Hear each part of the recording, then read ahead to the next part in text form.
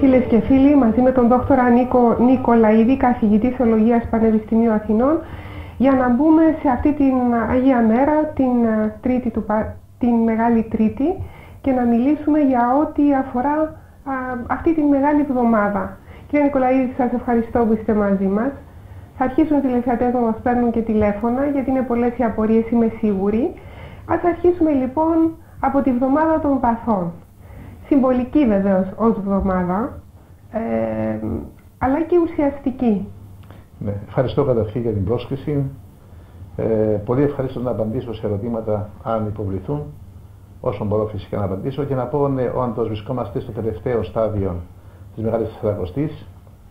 Είναι η περίοδος, η, κατανός, η κατανυχτική του τριωδίου και ήδη διανύουμε τη Μεγάλη Εβδομάδα, είμαστε στην Μεγάλη Τρίτη σήμερα και λέγεται Μεγάλη Εβδομάδα και Μεγάλη Δευτέρα, Μεγάλη Τρίτη, όχι γιατί είναι μεγάλες από πλευράς έκτασης χρόνου, αλλά είναι μεγάλες από πλευράς νοημάτων, περιεχομένου και μηνυμάτων. Άρα λοιπόν θα λέγαμε ότι η Μεγάλη Εβδομάδα συνοψίζει, επικεντρώνει το μέγεθος, το μεγάλο, το ανίποτο της αγάπης του Θεού τον άνθρωπο. Ε, διάβαζα το πρωί έτσι διάφορα προσπαθώντας να βρω και ιστορική αλήθεια για τον Χριστό, γιατί πολλοί, πολλοί ε, λένε μα εντάξει, έχουμε ιστορική αλήθεια, ιστορική απάντηση για την ύπαρξή του. Ε, θα ήθελα να μου απαντήσετε εσείς απάνω σε αυτό. Ναι. Βέβαια, οι μάρτυρες είναι οι μαθητές του Κυρίου. Ναι. Κάποιος θα πει ότι αυτές είναι οι λεγόμενες, ας το πούμε, εσωτερικές μαρτυρίες, όπως λέμε στην επιστήμη της θεολογίας, ε, οι μαθητές του τι άλλο να πούν, να πω για τον ίδιο τον Χριστό. Και διερωτάστε αν υπάρχουν κάποιες εξωτερικές μαρτυρίες. Ακριβώς. Ναι, υπάρχει οπωσδήποτε ε, την εποχή του Χριστού έχουμε τον Φίλωνα, τον Ιουδαίων, ο οποίος ζει ακριβώς mm -hmm. το διάστημα αυτό και γίνονται αναφορές από τον Φίλωνα για την παρουσία του Χριστού. Δεν ήταν ο Φίλωνας ο Ιουδαίος ε, μαθητής του Χριστού, δεν ήταν χριστιανός καν. Ήταν βέβαια Εβραίος της Διασποράς, ήταν στην Αίγυπτο, ήταν φιλόσοφος ο Φίλωνας. Ήταν μάλιστα φοβερά, θα λέγαμε, πλατωνικός φιλόσοφος ο Φίλωνας. Mm -hmm. ε, Υποστηριχτής της αλληγορικής μεθόδου, όπως λέγεται, δηλαδή ερμηνεία της Αγίας Γραφής Παλαιάς Διαθήκης για το Φίλωνα με έναν τρόπο έτσι αλληγορικό.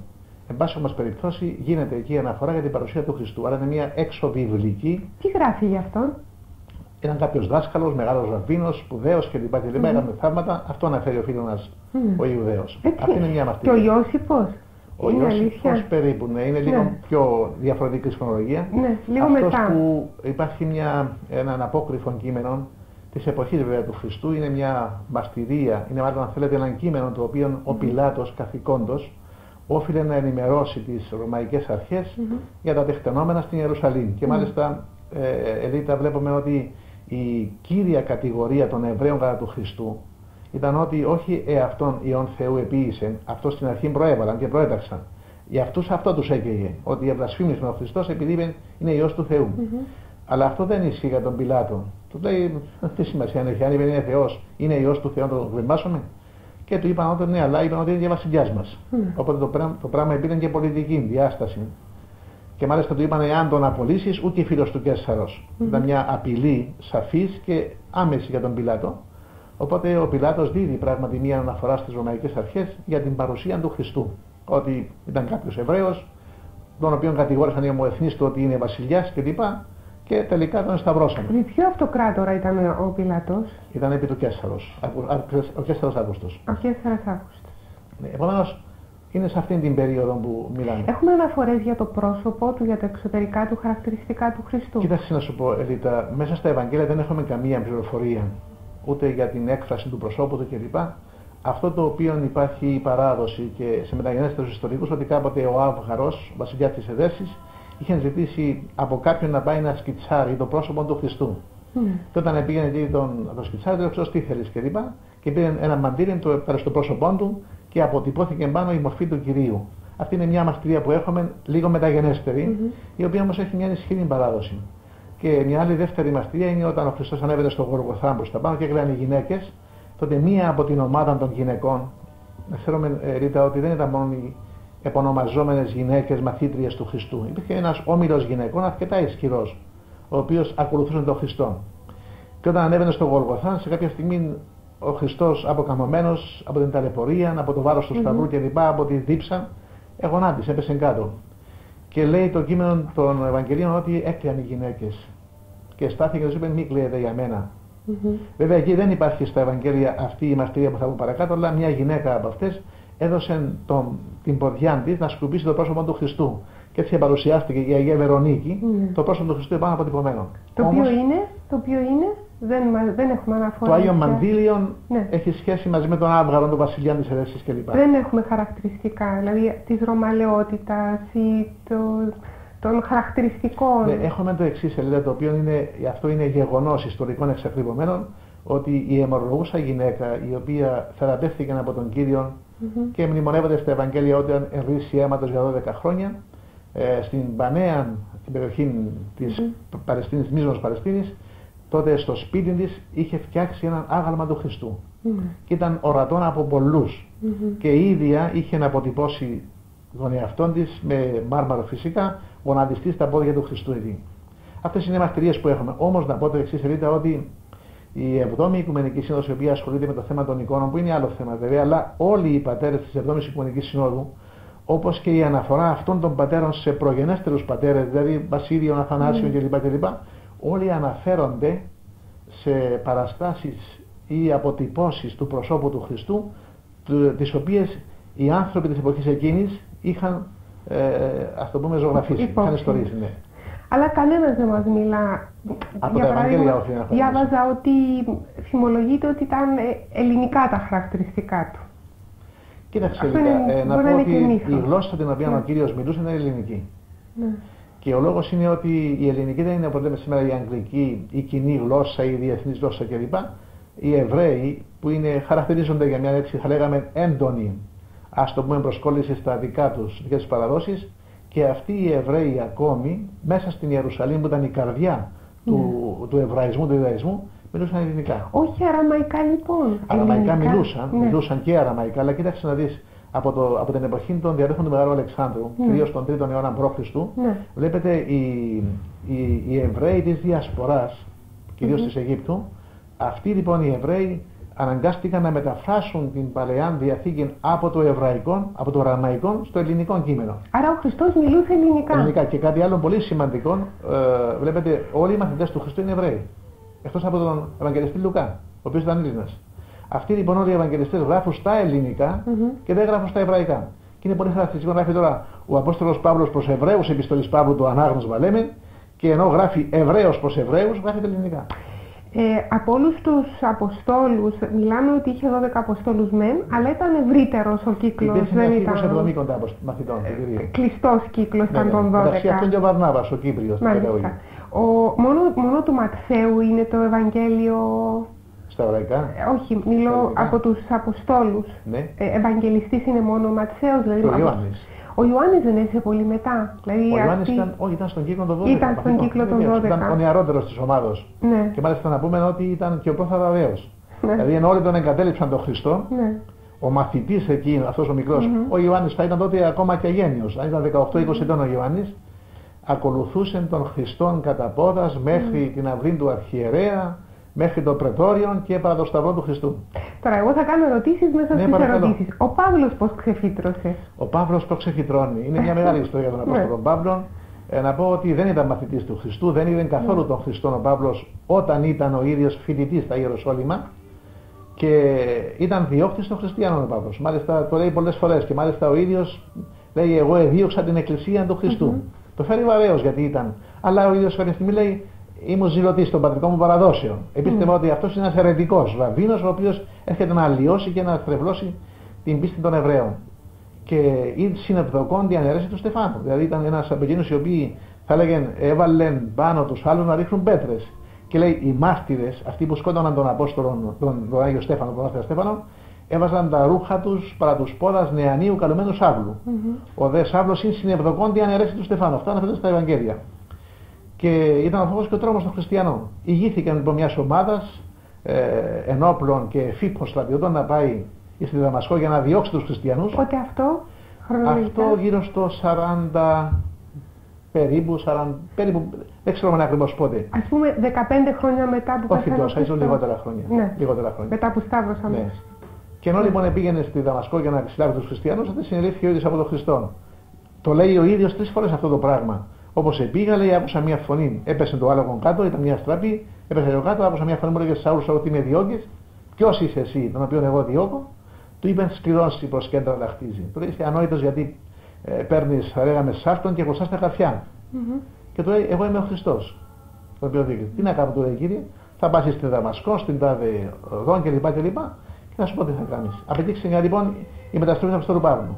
Άρα ε, μετά την ανάληψη είχαμε πολλές εμφανίσεις του Χριστού ε, εκτός από εκείνη τη μία στους ναι, μαθητές τους. Καταρχήν θα πούμε ότι μετά την Ανάσταση του ναι. Χριστού, λέει το κείμενο των πράξεων των Αποστόλων, διημερώντες σαράκοντα καθημερινά ο Χριστός παρουσιαζόταν και εξηγούσε στους μαθητές του για την Εκκλησία του, τα περί του Θεού. Αλλά δεν είναι οι γνωστές εμφανίσεις το, το, του Χριστού στους Αποστόλους. Ακόμα ο Απόστολος Παύλος λέει ότι εμφανίστηκε στον Ιάκωβον, τον αδελφό Θεό, ένα από τα αδέρφια του Χριστού. Τα Ευαγγέλια δεν κάνουν καμία αναφορά. Εμφανίστηκε στον Πέτρο, καμία αναφορά. Ύστερα λέει εμφανίστηκε πάνω από 500 αδερφοί σε φάπα, δηλαδή ήταν συγκεντρωμένοι όλοι 500 mm. άτομα και τους εμφανίστηκε ο Χριστός. Ε, Όμως πέρα από αυτό, ελείται να πω ότι ο Χριστός και μετά την ανάληψή του, πολλές φορές έχουμε μαρτυρίες ιδιαίτερε πράξεις των Αποστόλων ή του Αποστόλου Παύλου που ο κύριος λέει τους παρουσιάστηκε και τους εμίλησε για διάφορα θέματα. Ωραία. Έχουμε δύο τηλεφωνήματα, να ανοίξουμε το, το διάλογο με τους τηλεθεατές μας. Παρόλο που σήμερα θέλω έτσι, ε, ενώ ο, ολόχρονα θα έλεγε κανείς ότι προσπαθούμε να διεισδύσουμε σε αυτό που είναι το μήνυμα α, και ο δρόμος του Χριστού. Ε, σήμερα έχω έτσι μια ανάγκη να τον γνωρίσω από την ανθρώπινη του πλευρά. Δηλαδή τι έτρωγε, ε, είχε χιούμορ, ήταν δυνατός συνομιλητής, δηλαδή με ένα άλλο τρόπο να γνωρίσουμε τον Θεάνθρωπο. Παρακαλώ. Ναι, γεια σας. Γεια σας. Ε, ε, χαίρομαι και χάρηκα που είχα ακούσει τον αγαπητό κύριο Νικολαίδη να ε, εκφράζει και οπωσδήποτε του δίνοντα συγχαρητήρια που τον γνωρίζω και προσωπικά. Mm -hmm. ε, να είστε καλά κύριε Νικολαίδη. Χαίρετε. Απλώς ήθελα να κάνω μία ε, προστίκη, αν θέλετε, σε αυτά που έχετε αναφέρει. Ας τα ακούσουμε. Ε, επειδή η Ελίτα είχε αναφέρει πάνω στο θέμα ε, με το ποιο ήταν το πρόσωπο, το πρόσωπο και η έκφραση του Χριστού. Ναι, αν έχουμε ε, στοιχεία. Ναι, υπάρχει κάποιο στοιχείο. Είμαι βέβαιος ότι ο ε, κ. Νικολαίδης μπορεί να το κοιτάξει. Mm -hmm. ε, είναι μέσα από τον προφήτη Ισαΐα. Mm -hmm. ε, είχε μιλήσει ο Κύριος μέσω του προφήτη Ισαΐα ε, ότι ε, ματίσανε το πρόσωπο του Χριστού, δηλαδή του βγάλανε το γέννη με άλλα λόγια. Ε, και διαβάζω από τον Ισαΐα Νί το έκτο εδάφιο ε, «Το νότο μου έδωκα εις μάστιγας, ε, τα σδέσει αγώνας μου εις ραπίσματα, το ε, πρόσωπό μου καπέστρεψα από εσκήνησαν πτυσμάτων». Τέλος πάντων, ε, απλώς ε, οπωσδήποτε ήταν καταπονημένος ε, πάνω στο σταυρό όταν υπέφερε για τις αμαρτίες όλων των ανθρώπων και μας. Ε, mm-hmm. Ήταν βασανισμένος. Ε, δεν νομίζω να φαινόταν ωραίος όταν ήταν πάνω στο σταυρό. Αυτό ήθελα να προσθέσω. Σας ευχαριστώ πάρα πολύ. Να είστε καλά, εμείς ευχαριστώ. Να, να απαντήσω ναι, ναι, ναι, να πω ότι βέβαια ε, ο Χριστός είναι ο ωραίος κάλλη παραπάντα ανθρώπους και το πρόσωπο του πράγματα έχει μια ομορφιά του Κυρίου και μια γλυκύτητα και μερικές φορές οι Απόστολοι λέει εθαμβούν το που τον εκείταζαν. Ιδιαίτερα όμως θα αναφέρω τηλεθεατήσεις στον Πάσχοντα Μεσσίαν που ο προφήτης Ισαΐας πράγματι 800 χρόνια πριν βλέπει το πάθος του Κυρίου και ονομάζεται και Πέτρος Ευαγγελιστής, ο προφήτης Ισαΐας. Mm. Είναι πολύ σημαντικό αυτό το πράγμα. Ναι, όντως παρουσιάζει τον Χριστό να πάσχει και ότι το πρόσωπό του τελικά ούκ είχε είδος ούτε κάλλος. Ε, και να πω όμως εδώ, να πω εδώ ότι δεν είναι η μοναδική περίπτωση και να, απάνω στο σταυρό. Ε, και να πω κάτι πολύ που με συγκινεί πάρα πολύ. Ε, αν διαβάσουμε την ε, Πλάτωνος Απολογίας, ο Κλάτος κλπ. Και θα δούμε εκεί ότι ο Πλάτωνας διασώζει ένα πολύ σημαντικό στοιχείο για τον Χριστό. Ε, όταν ε, ο Σοκράτης κατηγορείται, εν πάση περιπτώσει, ότι εισάγει κενά δαιμόνια, καινούριους θεούς και διαφθείρει θρησκευτικά τους νέους, ο Σοκράτης δεν αναπνέει την κατηγορία, αντίθετα ε, την, ε, την, ισχύει την, την κατηγορία αυτή, λέει ναι, εγώ τα παραδέχομαι αυτό το πράγμα.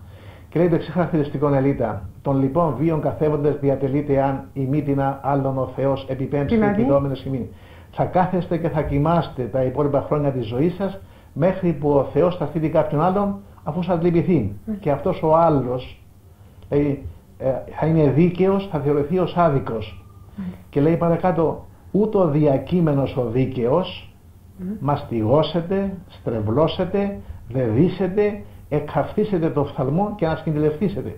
Αυτή είναι μια άλλη σημαντική προφητεία μέσα από τον εθνικό κόσμο, Ελίτα. Στα, στα, στη δημοτική. Στη δημοτική να πω ότι αυτός ναι. θα τον δέσουν, Ναι. θα τον δέρουν, θα τον μαστιγώσουν, θα τον χτυπήσουν στο πρόσωπο Φοβερός ο Σοκράτης. ε, και λέει Ναι. εκχαυτίσετε το φθαλμό, δηλαδή από τα χτυπήματα θα Ναι. φουσκώσουν, θα πριστούν τα μάτια του ε, Μάλιστα. και τελικά ανασχυντηρευτεί το μεθυμένο στο ξύλο. Είναι, εγώ πρώτη φορά το ακούω αυτό. Είναι Σας πολύ ευχαριστώ σημαντικό. που τα Δεν είναι μόνο αυτό, αναφέρετε. Ελίτα. Υπάρχει, Ναι. μια, υπάρχει μια αναφορά μεγάλη, εδώ και καιρό αναφέρεται το έκχε χώμο, που λέει είδε ο άνθρωπος. Και μιλάει για τον Χριστόν, τον πάσχοντα Χριστόν. Είδε ο άνθρωπος.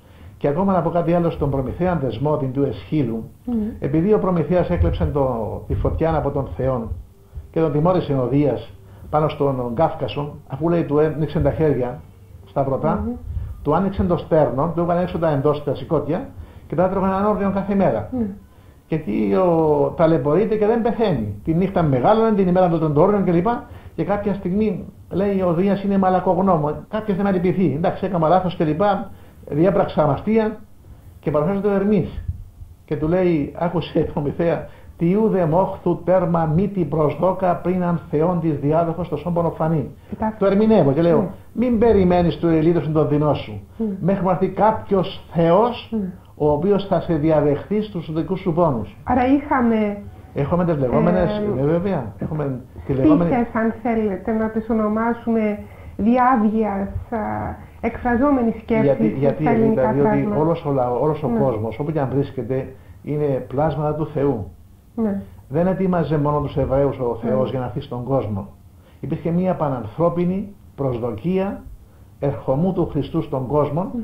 και έχουμε προφητείες έξω από την Αγία Γραφή, την Μμμ. Παλαιά Διαθήκη, που μιλούν για τον βασιλιά που θα έρθει από την Ανατολή, όπως λέει ο Μμμ. Κονφούκιος, και έχουμε και συγκεκριμένες ειδήσεις μέσα όχι μόνο από Έλληνες φιλοσόφους και από άλλους φιλοσόφους. Ειδικά το του Σοκράτη είναι κορυφαίο. Κορυφαίο. Σας ευχαριστώ που το αναφέρετε. Έχουμε και άλλες τηλεφωνικές Παρακαλώ. γραμμές.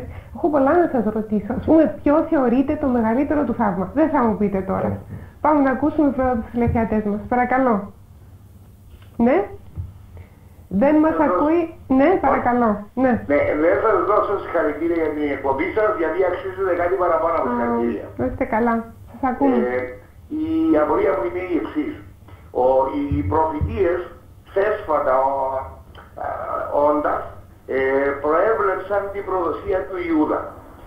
Ε, εάν ο Ιου- γιατί θεωρείται ο Ιούδας προδότης αφού ακολουθούσε την επιθυμία του Θεού μέσω των προφητειών. Μμμ. Λοιπόν, είναι Ευχαριστώ, μια το πήρα το ερώτημα. ερώτηση που ακούγεται πολύ συχνά και Κέρια την ευχαριστούμε κύρια τον ερώτηση, τηλεθεατή. Να Ναι. απαντήσω. Και μάλιστα κάποιοι προχωρούν ότι αν ο Χριστός έπρεπε να σταυρωθεί για να σωθούμε Χρειαζόταν και ο ο Ιούδας. Ιούδας διευκόλυνε τη σταύρωση, γιατί να μην είναι ήρωας ο Ιούδας και να τους στήσουμε κάποιον άγαρμα και εμείς τους έβραμε αυτή τη μεγάλη εβδομάδα Να μην τον ο δε γέρνε. παράνομος Ιούδας κλπ. Όχι. Κοιτάξτε κάτι, δεν είναι μόνο για το θέμα του Ιούδα συγκεκριμένα που μίλησαν οι προφητείες. Υπάρχουν πλήθος προφητειών στην Παλαιά Διαθήκη, όπως και έξω βιβλικές προφητείες, Ελίτα, που μιλούν για τον ερχομό του Χριστού, την διδασκαλία του Χριστού, το πρόσωπο του Χριστού, τον αποκαλούν σωτήρα των Χριστών, αποκαλούν, μιλούν για τον θάνατο του Χριστού κλπ.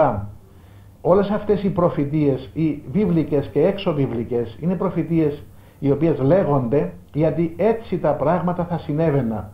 Μμμ. Όχι επειδή προφητεύει ο Ισαΐας ή οι προφητείες γίνονται μέσα του, μάλλον ο Θεός προφητεύει για των προφητών. Ε, επειδή τα είπε ο Θεός για των προφητών αυτά και γίνονται. Δηλαδή υπάρχει μια ανατροπή εδώ. Αυτά λέγονται επειδή έτσι θα συμβούν. Και όχι συμβαίνουν επειδή προφητεύτηκαν έτσι. Ξέρω αν το αν κατάλαβες Όχι. το λογοπαίγνιο. Λέω, αυτά συνέβησαν, επειδή θα συνέβαιναν, γίνεται η προφητεία ότι θα συμβούν αυτά τα πράγματα. Όχι γιατί προφητεύονται, άρα και γίνονται. Ωραία, τώρα το κατάλαβα. Καταλάβετε. Ναι, Ένα ναι. αυτό. Δεύτερον, εγώ λέω ότι πρώτα απ' όλα να πω και να ξεκαθαρίσουμε Ρίτα ότι μέσα ο Θεός δεν υπόκειται σε καμία αναγκαιότητα. Έπρεπε να σταυρωθεί και να σωθούμε. Ο Θεός δεν υπάρχει στο Θεό το έπρεπε και το όφιλε ο Θεός να κάνει αυτό το πράγμα. Τότε βάζουμε τον Θεό σε αναγκαιότητα. Γιατί και έγινε ξεπέφτει. αυτό; Γιατί έγινε αυτό το πράγμα; Ο Θεός εγνώριζε, Ελίτα, ευθύς εξ αρχής ποια θα είναι η πορεία των πραγμάτων Μμμ. σεβάστηκε την ελευθερία, την κακή εν πάση περιπτώσει των ανθρώπων Μμμ. και είπε εσείς να με σκοτώσετε, εσείς σταυρώστε με, εγώ θα δεχθώ και την σταύρωση για να σώσω εσάς. Δηλαδή, ήταν εκούσιος ο θάνατος του. Όλα και ε, Λίτα Αυτό μου, είναι και μια κάτι. κορυφής απάνω Θέλον, η πατέρα στη λέει το εξής, διδασκαλία του. Θέλον Ναι. εσαρκώθη ο Χριστός, θέλον επίνασε, Μάλιστα. θέλον εδίψασε, θέλον έπαθεν ο Κύριος. Άρα λοιπόν δεν υπόκειται ο Θεός σε αναγκαιότητες. Όφιλε να σταυρωθεί για να σωθούμε εμείς. Ως Θεός που ήταν Ελίτα μπορούσε να βρει χίλιους γιατρούς να σώσει. Βεβαίως. Άρα δεχόμενος όμως το πάθος ο χριστος από τους ανθρώπους οι οποίοι τον σταυρώνουν, από εμάς τους ιδίους. Τελικά λέει εντάξει εσείς σταυρώστε με, εγώ όμως και δια της σταυρός θα σας σώσω εσάς. Λοιπόν, είναι Επομένως, μια ο Ιού- να μην κορυφαία, κάνουμε- κορυφαία για τον Ιούδα- Τον διδασκαλία. Ιούδα, συγγνώμη Ελίτα, να Ναι. πω το εξής. Να μην νομίζει κανείς ότι και ο Πέτρος έκαμε λιγότερα. Ναι. Δηλαδή, Ο Πέτρος τον αρνήθηκε τρεις φορές. ο Και Σίμων όταν λέει το Πέτρος. κείμενο, ο απαθητής του. Ήρξα το αναθεματίζει και ομνύει ουκίδα τον άνθρωπο. Ε, Και Ελίτα μου να πω έτσι πολύ Ναι. σημαντικό. Και λέει ο Ευαγγελιστής, ό- όταν ας πούμε πήγαινε σπίτι τα πόδια του ο Χριστός, Ναι. το, στο μυστικό δείπνο, έτσι για να πούμε στο, και στο νέο των ιερών, όπως κατέβαιναν από το όρος των ελαιών, Μμμ. είχε στείλει δύο μαθητές να ετοιμάσουν το υπερόν για να γίνει το τραπέζι, το βράδυ, ο μυστικός δείπνος. Και όπως προχωρούσαν αυτοί μεταξύ τους, λέει το Ευαγγέλιο και δεν τα αποκρίνονταν για αυτά τα πράγματα. Εγένετο δε και φιλονικία μεταξύ των μαθητών, Μμμ. περί του τι εισι ημίζων. Τύση. Ποιο είναι ο Ο- ανώτερος, ο καλύτερος. ποιος θα είναι ο κάθεν της υπόθεσης. Α. το λέω έτσι να το Ναι, καταλάβω. ναι, έτσι απλά να μιλάμε. Και άκουγε ο κύριος αυτά τα πράγματα. Δεν Ναι, ήταν τίποτε. ναι. Όταν λοιπόν πήγε στο υπερό και αυτοί εκάθισαν για να φαν, σηκώθηκε πάνω. Έβγαλε το χιτόνα, εζώστηκε την πετσέτα και πλένει τα πόδια. Ήρξαν τον ύπνος πρώτα των μαθητών. Αυτοί ήταν κύριε σαφτισμένοι. Μόνο ο Πέτρος αντιδρά. Και του λέει κύριε, σήμωνη της σπορά. Αποκλείεται, του λέει, εγώ δεν δέχομαι. Του λέει Πέτρο, πέρασε έξω. Λέει κύριε, πέρασε έξω του λέει. Εάν μην ύψωσε, βγαίνει τη μέρα με μου. Του λέει, όχι έτσι κύριε, με φτιώξει. Εγώ να με λούσει ολόκληρο. Ε, του λέει είστε όλοι καθαροί εκτός από κάποιον. Και μπαίνει και ο κύριος στο πάθος να λέει ότι απόψε η έγραψε πατάξω τον ποιημένα και λοιπά και λοιπά. Όλοι θα με εγκαταλείψετε. Ο Πέτρος τότε. Και αν όλοι του λέει εγώ να δεις τι θα κάνω απόψε. Εντάξει. Και του λέει Πέτρε εσύ μην μιλάς. Πώς θέλεις να μου να πάθεις. Έτσι ήταν η κουβέντα. Ναι, ναι. Και ο Πέτρος επειδή προσβάστηκε που του είπε ο Χριστός εσύ υπόψε θα με αρνηθείς τις φορές. Πρωτού λαλήσει Ε, ο κόκκος. Επήραν όμως το μαχαίρι. Ναι. Είμαι στην τσέπη, λέει να σου δείξω εγώ. Και έκοψε το φτύν του, γιου- του δούλου του αρχιερέα. Όταν όμως ελίτα πάει ο Πέτρος και ήταν από μακρόθεν, προχωρούσε σιγά, εκρύβε τον, παρακολουθούσε, μπήκε μέσα στην αυλή του αρχιερέως ο Χριστός, αυτός από την ξόπαστα έβαλε τη φανή του κοίταζε και ο Ιωάννης του την έστησε, αν μου επιτρέπετε αυτή η φράση. Ναι, ε, μιλούμε ως είδε τέτοιο τον πράγμα. Ιωάννη, Ναι. είδε, είδε τον Ιωάννη στον μέτρο που έβαλε τη φανή του και είπε στη θηρορό να βάλει μέσα. Μμ. Και πάει η θηρορός να του πει να περάσει μέσα, πονηριούσα, του λέει Μα γιατί με εσείς εσείς από αυτόν και λοιπά. Και αρχίζει τότε η δοκιμασία του Πέτρου, που τρεις φορές τον Χριστό. Και λέει ο Ευαγγελιστής Λουκάς σελίδα κάτι πολύ χα... που εγώ τα πω να το πω πράγματι κλαίω. Λέει ότι στην τρίτη φορά που ο Πέτρος αρνήθηκε και λέει να μην χαρώ τα παιδιά μου, να χαρώ το φως μου. Εγώ ορκίζομαι στο Θεό, εγώ τον ξέρω αυτόν τον άνθρωπο. Μμμ. Ουκίδα τον άνθρωπο. Ουκίδα τι λέγεις. Τότε Αλέκτο ρεφώνησε. Και τότε λέει ο Χριστός από το εδόλιο του κατηγορουμένου που είχε προηγουμένως δεχτεί ένα δυνατό χαστούκι στο πρόσωπο από το δρόμο του αρχαιρέως ο δε Ιησούς στραφής ενέβλεψε τον Πέτρο. Τον εκείδευε στα μάτια. Και του είπε Πέτρε δεν με ξέρεις ε; Ού είδες τον άνθρωπο; Καθόλου. Είμαι άγνωστος σου. Ορκίζεσαι δηλαδή έτσι; Μπράβο Πέτρο. Η Και τότε ο προδοσία. Πέτρος είπε εμνίστη Ναι. του ρήματος του Ιησού και έξω τον έξω έκλαψε πικρός. Και ο Πέτρος αρνήθηκε.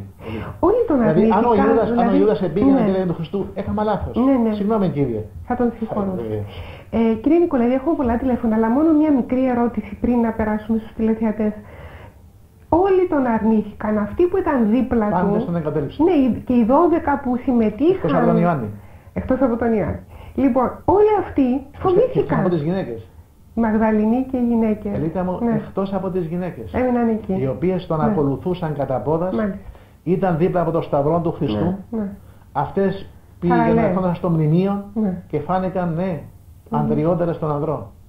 Λοιπόν, Πες. παρόλα αυτά, όλοι αυτοί που ήταν κοντά του και είδαν τα θαύματά του και είδαν τη δύναμή του και δέχτηκαν τη διδασκαλία του, φοβήθηκαν τόσο πολύ που είπαν δεν τον ξέρουν. Ε, η μόνη στιγμή που έγινε η αλλαγή μέσα τους και πια βγήκαν προς τα έξω δίχως φόβο είναι μετά την ε, Ανάσταση. ανάστασή του. Και πάλι εκεί ήταν πολύ συγκρατημένοι. Μάλιστα. Όταν παρουσιάστηκε στους δύο Μμμ. προς εμμάγους σελίδα το απόγευμα της Κυριακής, Ναι. είχε εν τω μεταξύ ο Χριστός παρουσιαστεί σε κάποιες γυναίκες, οι οποίες πήγαν και είπαν, του Χριστ- είπαν στις μαθητές, αναστήθηκε. Τον είδαμε εμείς. Και έτρεξε ο Πέτρος με τον Ιωάννη στο μνημείο. Αναφέρουν τα κείμενα των Αποστόλων. Και εκεί βρήκαν λέει τον Λίθον να έχει φύγει από την θύρα του μνημείου. Ο Πέτρος εκείταζε ε, και ο Ιωάννης, ο Πέτρος μπήκε μέσα, ήταν τα οθόνια, λέει πού το, πού mm αναστήθηκε; Δεν το είδα μέχρι την στιγμή.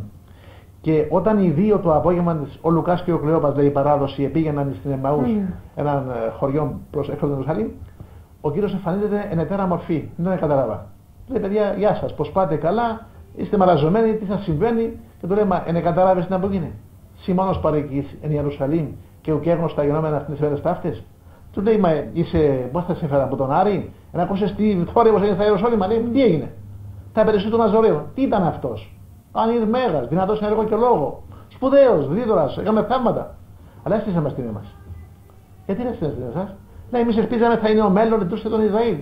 Ανέμεναν αυτή η ελίτα, όπως και οι υπόλοιποι Εβραίοι, έναν Χριστόν κοσμικών άρχοντα, βασιλιά κλπ. κλπ. Και τότε ο ξένος που δεν τον κατάλαβαν, γιατί εκπαιδεύονται λέει η οφθαλμία αυτών του μη επιγνώμια, δεν το καταλαβαίνουν, ο ανόητη και βραδίστηκα, και πιστεύει. Και προχωρούν και προχωρούν. Ήταν ο ίδιος. Ναι, ναι. Και πάμε μέχρι την Εμαούς, πας, του λέει μείνω με θυμό, άρασε μας η κουβέντα σου. Παιδιά θα πάω παρακάτω, προσεμποιεί τον παροντέρω πορεύεστε.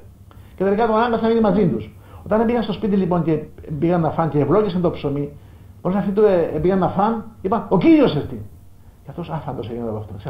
Ήταν αλλοιωμένο το σώμα του για να μην τον καταλάβουν εντελώς. Λέει, λέει ο Ευαγγελιστής είναι τέρα μορφή, ήταν αλλοιωμένο οπωσδήποτε. Ναι. Όταν δε, αυτοί πάνε στα Ιερουσαλήμ τη νύχτα, ναι. μεταξύ όλοι έλεγαν τώρα κάποιες γυναίκες πάνε αναστήθηκε. Πιστεύουμε τον γυναικών εμείς. Αυτό έλεγαν μεταξύ mm. μαθητές. Το ορθυρών και κλεισμένο, παραφέρεται ο Χριστός. Mm-hmm. Και λέει το κείμενο, το ηθέντες δε και ένφοβοι γενόμενοι του πνεύμα θεωρείται, ε, φάντασμα, μας φάει τούτος. Κρατάω δηλαδή αυτό. και η ίδια ήταν... Ελίτα δεν ναι. επίστευα στο Χριστό. Όχι, ο, ε, αυτοί που τον Στη έζησαν. συνέχεια όμως επίστευσαν. Έχει σημασία το αλλοιωμένο σώμα της ανάληψης, θα επανέλθω για να καταλάβουμε της Ανάστασης. Ανάληψη είναι όταν πάει στους ουρανούς πια. Λοιπόν, πάμε να ακούσουμε. Παρακαλώ. Συγγνώμη, σας είχαμε στον αέρα και τι ώρα σας ακούμε τώρα. Ναι, παρακαλώ. Ναι, παρακαλώ. Ε, έχω δύο απορίες για τον κύριο Νικολαίδη. Να ακούσουμε. Λοιπόν, το ένα είναι κάποιον ιστορικό κενό μεταξύ του, της ηλικίας του Ιησού από τα 12 μέχρι τα 33, Ναι. γιατί τη χάνω ότι διέβασα και τη γραφή Ναι. και δεν γνωρίζω ε, από την ηλικία αυτή, από, βάσει της γραφής μέχρι τα 12 γνωρίζουμε, από εκεί και πέρα μέχρι τα 33 όταν πλέον βγήκε στη διδασκαλία, τούτον το κενό που ήταν ο Ιησούς. Μείνετε στην τηλεφωνική μας γραμμή Και να δύο- απαντήσει δύο την απορίες. πρώτη Και δύο απορία. απορίες. Να, Ας να, πούμε την απαν- άλλη. Ας πούμε να την μας άλλη. τα πει και τα δύο. Ναι, Ωραία. ναι, ναι. Προχωρήστε. Πείτε Έχω μας και και το την άλλο, δεύτερη. το οποίο Ναι. είναι το λεγόμενο μη μου άπτου, Ναι. το οποίο είπε στη Μαγδαληνή όταν πλέον αναστήθηκε, ε, ποιο νόημα είχε, γιατί της είπε μη με αγγίξεις, γιατί δεν έχω αναλυφθεί ακόμα στον πατέρα μου. Μάλιστα. Ε, ποιο νόημα ήταν αυτό που δεν την άδεισε τη Μαγδαληνή να τον αγγίξει και της είπε μη μου άπτου. Σας ευχαριστούμε πολύ. Ευχαριστώ πάρα πολύ. Να πω ότι για, πράγματι για το διάστημα από 12 ετών όπου ο Χριστός αναφέρουν τα Ευαγγέλια είχε πάει στον ναό και τελικά ήταν 12 ετής και είναι διδάσκον κλπ. κλπ. Δεν έχουμε καμία πληροφορία.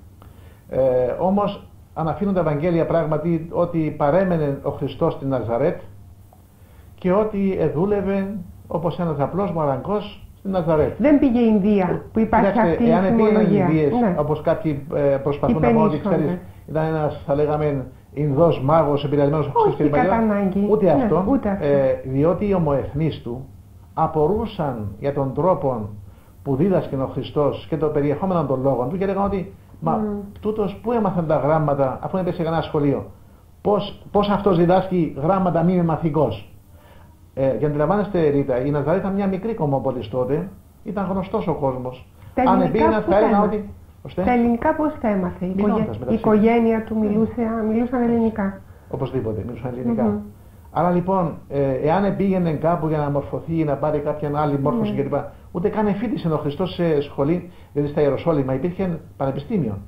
Δεν Ήταν το- πήγε. Τον Ιεροσολύμο. Δεν Ο πήγε. Απόστολος Παύλος εφήτησε στο Πανεπιστήμιο του Ιεροσολύμου. Το Λοιπόν. μήμο άπτου Επομένως, αυτό είναι κενό. Και να πω και κάτι άλλο. Τα Ευαγγέλια γράφουν αυτά που μας βοηθούν και μας φέρνουν να σωθούμε. Τα άλλα είναι λίγο σαν πολύ περιέργεια. Μμ. Ήταν ο Κύριος υποτασσόμενος και εργαζόμενος χειρονακτικά στην Ναζαρέτ. Μάλιστα. Αυτή είναι η απάντηση. Τίποτε περισσότερο.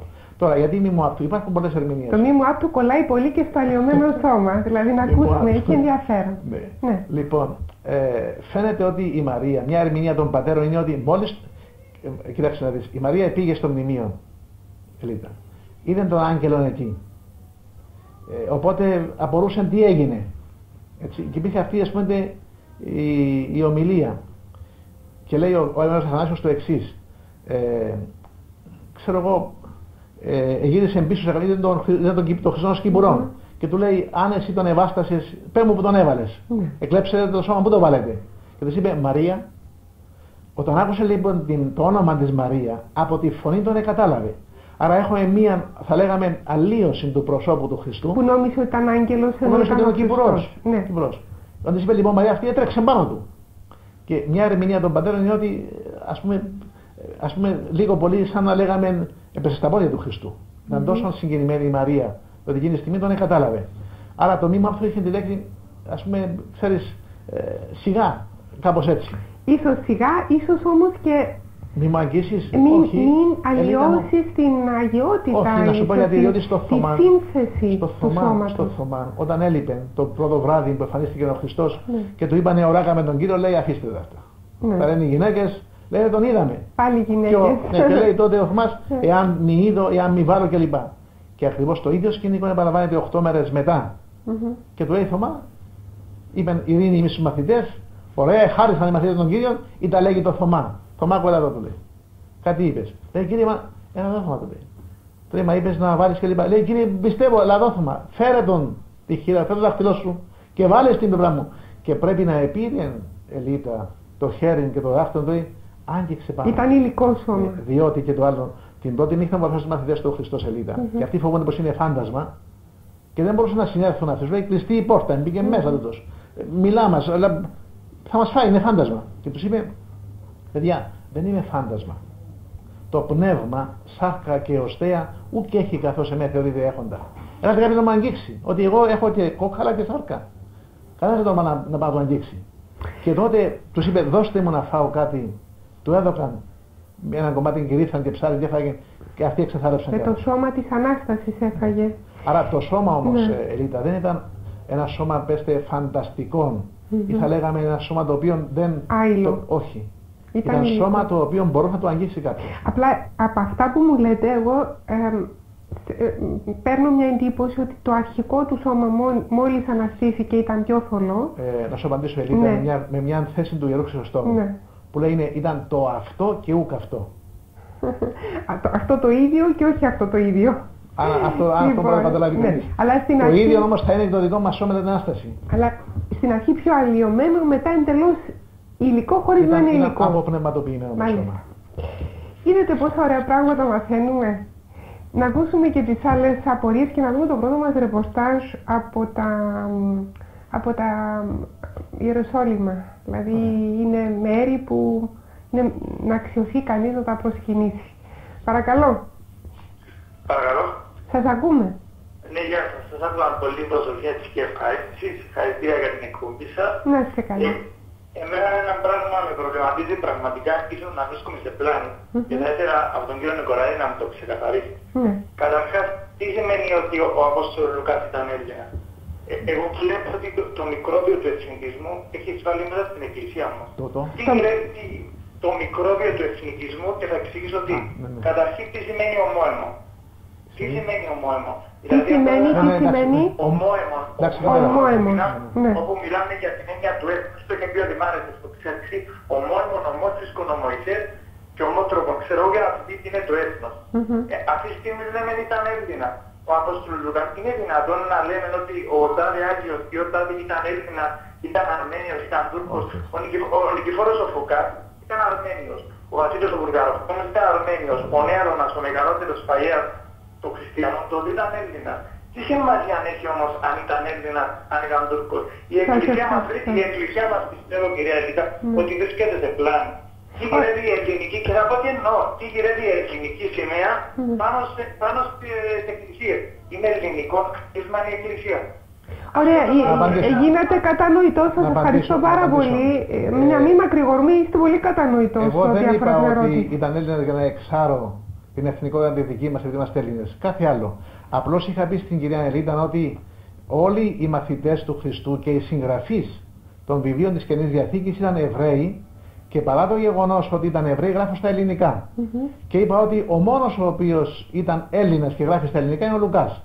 Λέγοντας, για να εξηγήσω, Ελίτα και στον αγαπητό τηλεθεατή, ότι ε, την εποχή εκείνη η δεσπόζουσα γλώσσα, η οποία δεν ήταν απλώς διεθνής, αλλά ήταν, θα λέγαμε, σαν μητρική γλώσσα των ανθρώπων, ήταν η ελληνική γλώσσα. Ε, τίποτε άλλο. Ε, Επίσης, το άλλο που λέμε ότι ναι, η Εκκλησία δεν έχετε εθνικισμούς, κάθε άλλο. Ούτε εθνοφιλετισμού. Τι σημασία έχει. Ο Χριστός είπε: Εμπορευθέντε, μαθητεύσατε πάντα τα έθνη. Mm-hmm. Και βλέπετε μέσα στην Εκκλησία, εμείς, Ελίτα, η Ορθόδοξη Εκκλησία, ναι, έχει δίκιο ο τηλεθεατής. Δεν έχουμε εμείς, ε, θα λέγαμε, ιερές γλώσσες. Όπως υπάρχει στην Ρωμακαθολική Εκκλησία. Που είναι η εβραϊκή, η ρωμαϊκή, η ελληνική mm-hmm. γλώσσα. Κάθε άλλο. Και όταν γίνονται οι αποστολέ Ελίτα, βλέπετε τον 1ο αιώνα πηγαίνει ο, ο Κύριλλος και ο Μεθόδιος πηγαίνουν στις παραδρόμιες περιοχές εκεί, κηρύσσουν τον χριστιανισμό και τι κάνουν αυτοί οι άνθρωποι. Δεν, ενώ είχαν τη γλώσσα, δεν είχαν το, το αλφάβητο. Και επινοούν αλφάβητο mm-hmm. και για πρώτη φορά έχουμε τα κείμενα γραπτά στη σταγωνική γλώσσα. Εσεβάστηκαν δηλαδή κατά καιρούς οι Ιεραπόστολοι, όπως και σήμερα Ελίτα. Mm. Αν πάμε στην Εγγένεια, βλέπετε οι Κικούλιου και οι άλλες φυλές που υπάρχουν στην Αφρική, έχουν μεταφραστεί και το Ευαγγέλιο και η λειτουργία και όλα τα λειτουργικά κείμενα στη γλώσσα των ανθρώπων. Λοιπόν, να πάρουμε και άλλη. Όσον αφορά τη σημεία που στα Αφρική και την Πατρίδα, εκεί είναι η εθνική μας ταυτότητα, κάθε άλλο, τίποτε άλλο. Ένα άρθρο στην εθνική μας ταυτότητα. Να πάρουμε και την άλλη ερώτηση, παρακαλώ. Ναι, χαίρετε. Χαίρετε. Ήθελατε να μάθετε για τη μορφή του Χριστού. Ναι. Τη χάνει να πέσει στα χέρια μου μια επιστολή που την έφερα εγώ από την Ελλάδα, που την έχω δώσει. Ε, και γράφει ο, ο Βούβλιος Λεόντιος, διοικητής Ιουδαίας της εποχής εκείνης, ναι, ναι. τον Γέσταρα. Και περιγράφει τη μορφή του Χριστού πώς είναι και της Παναγίας. Να ακούσουμε. Ε, αν έχετε την υπομονή να ακούσετε. Όχι, δεν θα μας το πείτε όλο, θα μας πείτε μόνο αυτό που περιγράφει το πρόσωπο του Χριστού, αν έχετε την καλοσύνη. Ε, λέει είναι αντίγραφος της επιστολής της ευρεθήση στην Ρώμη βιβλιοθήκη των Λαζαριστών και μεταφρασίσει στην ελληνική είναι του προτύπου λατινικού κειμένου. Όλο αυτό αφήστε το πίσω. Αν έχετε Α. επί τούτου τα χαρακτηριστικά του λοιπόν, Χριστού, τρεις γραμμές. Ναι. Α, μα τρεις γραμμές έγινε. Ναι. Γράφει. Ε, περιγράφει το πρόσωπο του Χριστού. Περίμενε. Θα περιμένω. Ε, και να η αλήθεια Γκέρσαρτ ακούονται καθεκάστην θαυμάσια πράγματα περί του ανθρώπου αυτού. Αναγύρει νεκρούς και θεραπεύει ασθενείς δια μιας λέξεως αναστήματος μετρίου, καλός στην όψη και μεγαλοπρέπεια περιβεβλημένος. Αυτό, αυτό παραπέμπει, με συγχωρείτε που σας διακόπτω, σε ρωμαλαιότητα. Ήταν ρωμαλαίος, ιδίως, ναι. Ιδίως κατά το πρόσωπο ούτως όσοι τον ατενίζουν αναγκάζονται να αγαπώσουν και να φοβούνται αυτόν. Έχει την κόμη μέχρι και τον νότον χρώματος καριού. Καριού, δηλαδή, καριού. τι είναι ε, καριού; Ε, το, χρώμα του καριδιού. Το, του καριδιού, μάλιστα. Ναι. Εκεί σέρδε μέχρι των ομοπλατών, γενομένοι γεόχρουν, ναι. αλλά μάλλον στη πλήν. Διχάζεται ρε αυτή εν το μέσο άνωθε κατά το σύστημα των Ναζαρέων. Χωρίστρα στη μέση. Ναι. Ε, το μέτωπο του είναι λίον και γαλήνιο. Το πρόσωπό του δε είναι βρυτίδος ή κυλίδος. Η ρης και τα χείλη του κανονικότατα. Το γένιο είναι πυκνό και χρώματος του αυτού της κόμης, δηλαδή το χρώμα του καρδιού. Δεν είναι καρόν και διχάζεται εις το μέσο. Μάλιστα. Το, το βλέμμα του είναι καθαρό και εμπιούν φόβων. Έχει δε δύναμη ηλιακής ακτίνος. Ουδής δύναται να είδει αυτόν ατενός. Όταν επιτιμά, ναι.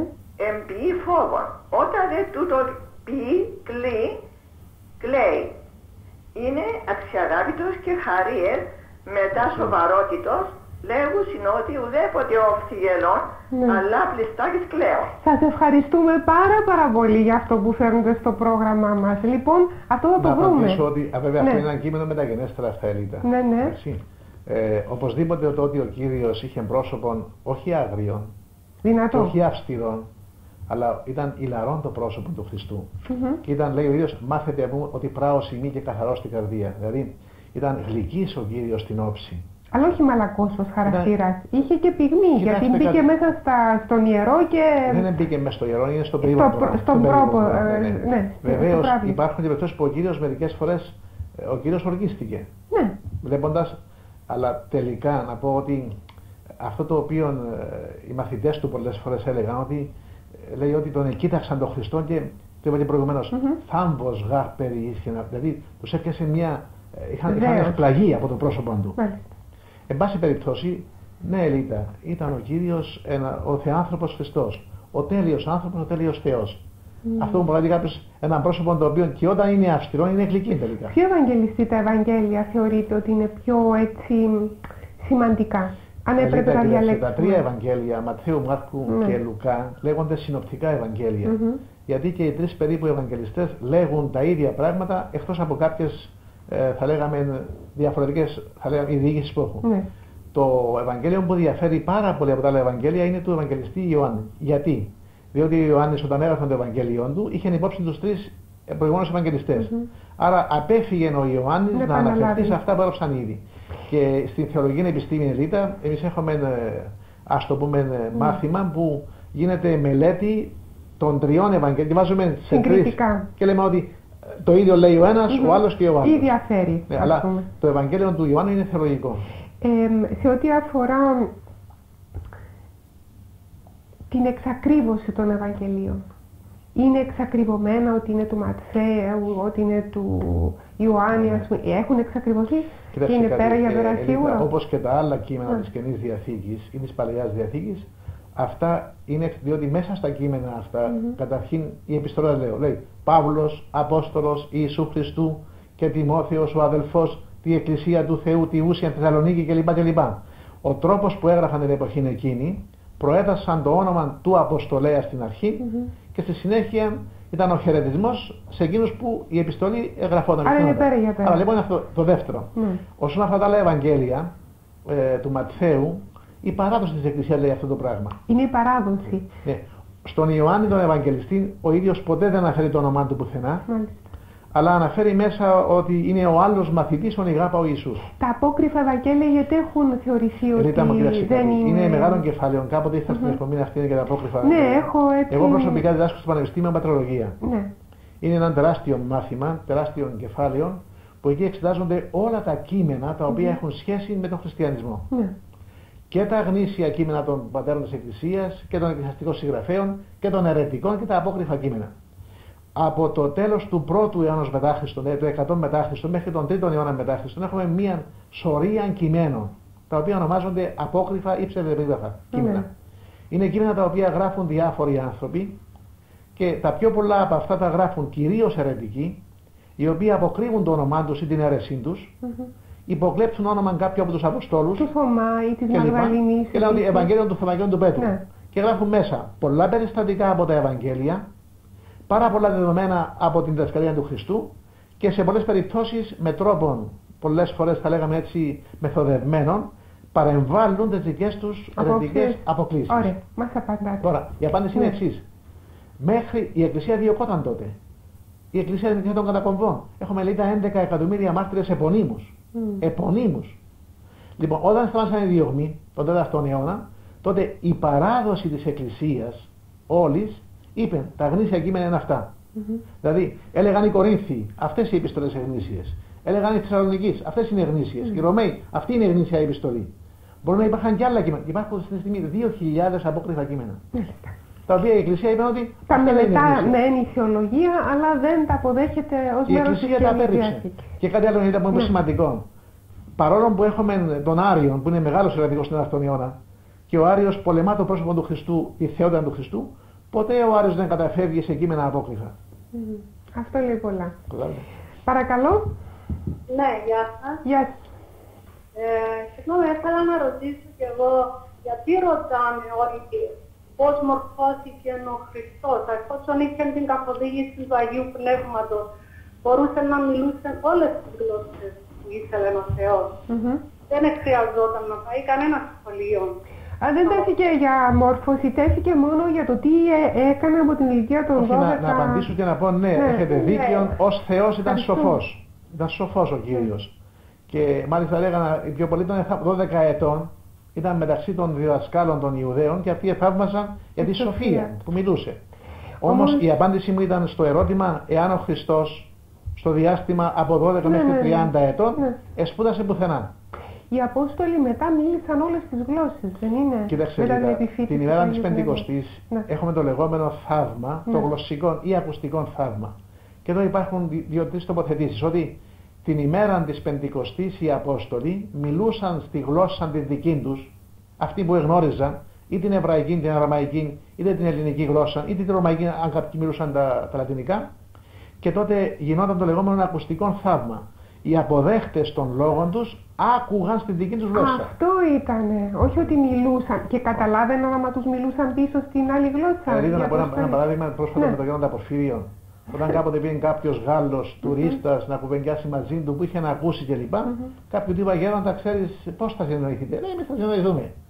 Όταν λοιπόν μπήκε μέσα, ο ένας μιλούσε γαλλικά και ο άλλος άκουγε ελληνικά, και ο άλλος μιλούσε ελληνικά και ο άλλος γαλλικά. Απάντη- α, Ακριβώς. Ερωταπάντηση. Αυτό είναι το λεγόμενο ακουστικό θαύμα. Ωραία. Το οποίο συνέβη, αλλά μόνο για την ημέρα της Πεντηκοστής. Μετά, Όχι. α, μόνο εκείνη την Μόνο, ημέρα. ναι. Α, όχι ότι έφυγαν όχι. μετά και μπορούσαν Όχι, να όχι, μιλήσουν όχι. όλες τις άλλες γλώσσες. Μόνο την ημέρα της Πεντηκοστής. Παρακαλώ. Σα- Εγώ έχω διαβάσει ότι η μορφή του Κυρίου έχει αποτυπωθεί στην Αγία Συνδόνη η οποία βρίσκεται στο Τωρίνο. Ναι. Έθελα τα σχόλια του κυρίου Νικολαίδη παρακαλώ. Λοιπόν, αυτή η Ιερά Συνδόνη πάει και έρχεται, τελευταίως πάλι την έβγαλαν έξω και είπαν ότι ναι, μπορεί πια με μηχανήματα να πει κανείς ότι ανάγεται Το σε είναι, εκείνη το, την περίοδο. είναι η συνδόνη που ετήληξαν το σώμα του Χριστού. Λέγεται ότι αυτή είναι. Λέγεται ότι είναι αυτή. Και μάλιστα η Ρωμαϊκή Εκκλησία υποστηρίζει ότι έχουν γίνει και αναλύσεις ειδικές και λένε ότι ναι, είναι αυτό το πράγμα. Μμμ. Εγώ γιατί να το αμφισβητήσω. Δεν το αμφισβητώ. κοίτα. Γιατί κοίταξε Ρίτα, ο τρόπος ενταφιασμού τότε των νεκρών ήταν αυτός που λέει ενήλυσε καθελών ο Ιωσήφ το σώμα του Χριστού από τον Σταυρό, το ετήληξε σε έναν καινούριο σεντόνι και το βάλε πάνω. Ξέρετε ποιο είναι το ωραίο με την Ιερά Συνδόνη, γιατί 8 χρόνια πρόγραμμα, 8 χρόνια κάνουμε για την Ιερά Συνδόνη. Μόνο φέτος δεν το κάναμε. Ωραία. Λοιπόν, Να μην τα επαναλάβουμε λοιπόν αυτά τα πράγματα. όχι, ότι σε κάποια φάση έλεγαν δεν είναι. Ε, Μπήκαν οι επιστήμονες το ψάξαν και έλεγαν όχι, είναι πολύ μεταγενέστερο και είναι ειδικό μ, μελάνι ε, από την τάδε περιοχή, από το τάδε λουλούδι και τώρα έρχονται και λένε όχι. Ναι, ναι. Περαιτέρω Οι εξετάσεις λένε ότι είναι τελευταίες πολύ αναλύσεις πιθανό. που έχουν γίνει Ναι. επιβεβαιώνουν αυτό το πράγμα. Ότι μάλλον είναι ε, του Χριστού η Μα, συνδρόμη. εφόσον τα Ναι. γεγονότα μιλούν Ελίτα ότι Ναι. ο- το, πρόσωπο, το, το, το σώμα του Κυρίου το είχαν τυλίξει σε κάποιο σεντόνι μέσα άσπρο, Ναι. αποτυπώθηκε λέει πάνω. Ωραία, παρακάτω. Θα πάρουμε άλλα δύο τηλεφωνήματα αν περιμένουν και να πάμε στο ρεπορτάζ. Παρακαλώ. Γεια σας. Γεια σας. Δόξα μίλα. Παρακαλώ κυρία Δόξα, σας ακούμε. Σας εύχομαι καλό μου Πάσχα. Και σε Επίσης. εσάς. Και στους δύο. Και στο... Να σας πω κάτι για την Παναγία. Να ακούσουμε. Σύντομα, σύντομα. Η Παναγία η Παρθένος, στο όροφη το ξέρει, στήλιον εκατοίκησε, πεδίον εγέννησε, στη πάτριν το έβαλε, ο βούς το έκλειψε, τριών ημερινών εμίλησε, τεσσάρων επερπάτησε, η μάνα του ερώτησε, μάνα πώς κοιμάσαι μοναχή, όχι γε μου μονογενή, δεν κοιμούμε μοναχή. Έχω Πέτρον, έχω Παύλο, ήδη δώδεκα αποστόλοι. Σε θαγριον όνειρο σε είδα πως σε τρέχαν οι Εβραίοι. Πάνω σε τρέχαν, κάτω σε τρέχαν, στον Ιορδάνη ποταμό σε πιάσαν. Κύριε Δόξα μου, Πέντε- πριν συνεχίσετε, τι είναι αυτό που μας διαβάζετε.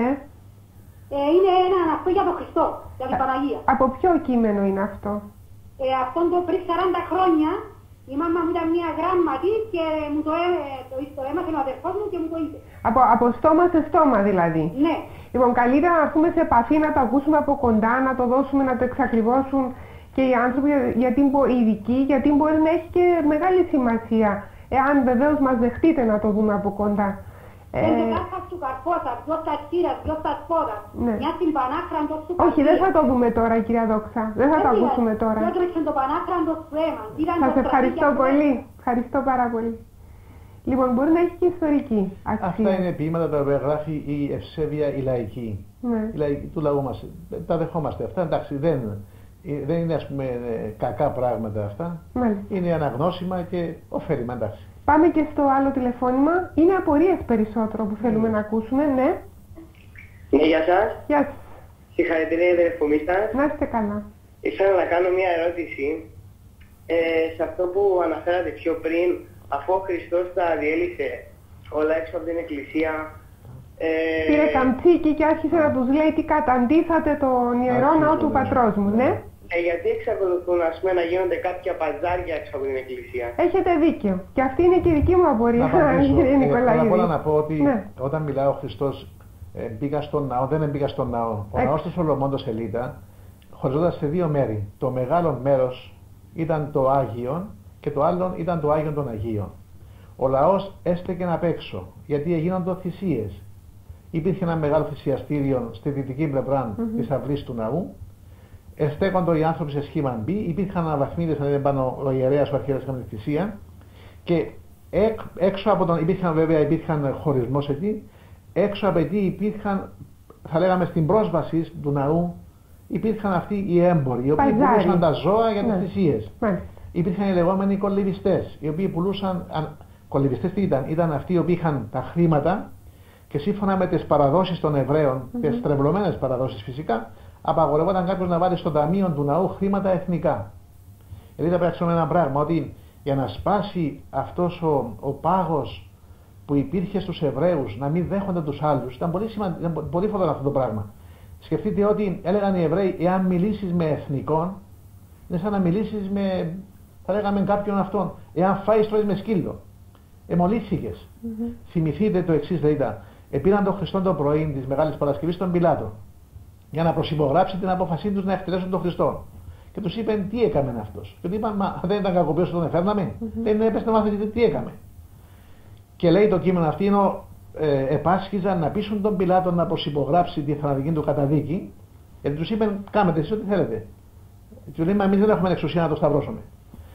Ο λαός αισθάνθηκε απ' έξω από τον αυλόγυρο Και ζητούσε του τη πρετορίου σταύρωση. και φώναζε άρον στα... και λέει και αυτοί ούκης ήρθαν στο πρετόριο ή να μην ανθώσει αλλά να φάγωση το Πάσχα. Μμμ. Ξέρεις με αυτό το πράγμα; Ενώ εφώναζαν και έσφυγαν τις βοθιές τους για να σταυρωθεί ο Χριστός, άρον σταύρωσαν αυτόν, δεν τολμούσαν να πατήσουν ακόμα μισό μέτρο πιο μέσα. Μμμ.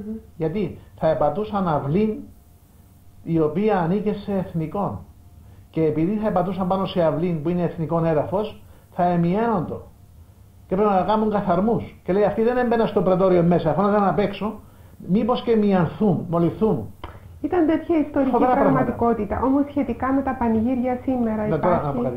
Ναι. Εκεί λοιπόν έπαιρναν τα χρήματα του ναού για να βάλουν μέσα στο ναό. Και αυτοί αντάλλαζαν τα, τα λεφτά. Και υπήρχαν αυτοί που είχαν τα περιστέρια, που οι φτωχοί άνθρωποι αγόραζαν περιστέρια από θυσίες. Ε, λοιπόν, ο Χριστός εκείνη τη στιγμή είδε ότι έκαναν τον οίκον πατρό, οίκον εμπορίου. Και λέει, ανέτρεψε τα τραπέζια των κολυβιστών, των ο, περιστερών που μπορούσαν και των άλλων που μπορούσαν τα ζώα. Και λέει κάποιος πατέρας ερμηνευτή, λέει, ε, μόνον εκείνοι που μπορούσαν τα περιστέρια έπιαν να το πούσει γιατί έκαμε σε αυτά τα πράγματα. Οι άλλοι είναι πιαν, ούτε οι κολυβιστέ, αυτοί που άλλασαν τα χρήματα, ούτε οι ζωέμποροι να διαμαρτυρηθούν. Για ποιον λόγο; Διότι οι κολυβιστέ έσκυψαν κάτω να μαζεύουν τα χρήματα που ισονοστήκα. Οι άλλοι δεν είχαν τα ζώα να συνάξουν, ή αυτοί που δεν είχαν τα περιστέρια μπροστά να μαζέψουν. Mm. Και πήγαν να διαμαρτυρηθούν εναντίον του Χριστού. Ναι. Ναι, ήταν πράγματι οίκο εμπορίου εκεί. Άρα λοιπόν, Άρα ουσιαστικά Ναι, αλλά- οποτεδήποτε γίνεται οίκος εμπορίου. εάν, εάν, εάν Ελίτα μου, Ο- ο οίκος του γίνεται Θεού. εκμετάλλευση Ναι. των πιστών, Ναι. της ευσέβειας των πιστών, Μμμ. από οποιονδήποτε αυτό το πράγμα, Είναι καταδικαστικό. για τον καθένα από εμάς, Ελίτα, ισχύει ακριβώς αυτό ο Χριστός. Σας ευχαριστώ. Λοιπόν, είναι πολλά πράγματα που έμειναν πίσω. Τι έτρωγε ο Χριστός; Έτρωγε κρέας. Έχουμε, δεν υπάρχει καμιά αναφορά Ναι. για το κρέα που τρώγε ο Χριστός. Οι Απόστολοι πέρα τρώγαν κρέα όμως. Μμμ. Γιατί όπω το Παύλος λέει ότι ου μη φάγω κρέας στον αιώνα, είναι με τον αδερφό μου σκανδαλίσω. Ο Χριστός δεν έχουμε αναφορά, αλλά ότι ότι άλλα φαγητά έτρωγε. Όπως; Δεν ξέρω αν έτρωγε, Αυτά δεν έτρωγε ψάρια, κρέας. ας Να πω πούμε, κάτι. ξέρουμε. Ε, Ναι. Κοίταξε, Λίτα, τον κατηγορούσαν οι Εβραίοι ότι είναι φάγος και εινοπότη. Α, έτσι έλεγαν. Μια, οι μια Εβραίοι. κατηγορία αυτή. Μάλιστα. Ότι είναι φίλος πορνών και τελωνών. Ναι. Ο Χριστός ναι, συνέτρωγε με πόρνες, συνέτρωγε με τελώνες, συνέτρωγε ξέρω εγώ με άλλους. Ναι. Και, λέει, ο Χριστός- και στην κατηγορία αυτή που τον Χριστό ότι ναι, ξέρετε, αυτοί που έχουν ανάγκη ιατρού είναι οι άρρωστοι. Εσείς είστε υγιείς, δεν έχετε ανάγκη ιατρού. Ναι. Ήταν μια απάντηση αυτή. Μμμ. Και απόψε που είναι η μεγάλη τρίτη ελίτα, που είναι μια πολύ συγκινητική η ακολουθία με την γυναίκα αυτή η οποία πηγαίνει στο σπίτι του σήμερα του Φαρισαίου Μμμ. και του κάνει τραπέζι ο Σίμωνο Φαρισαίος.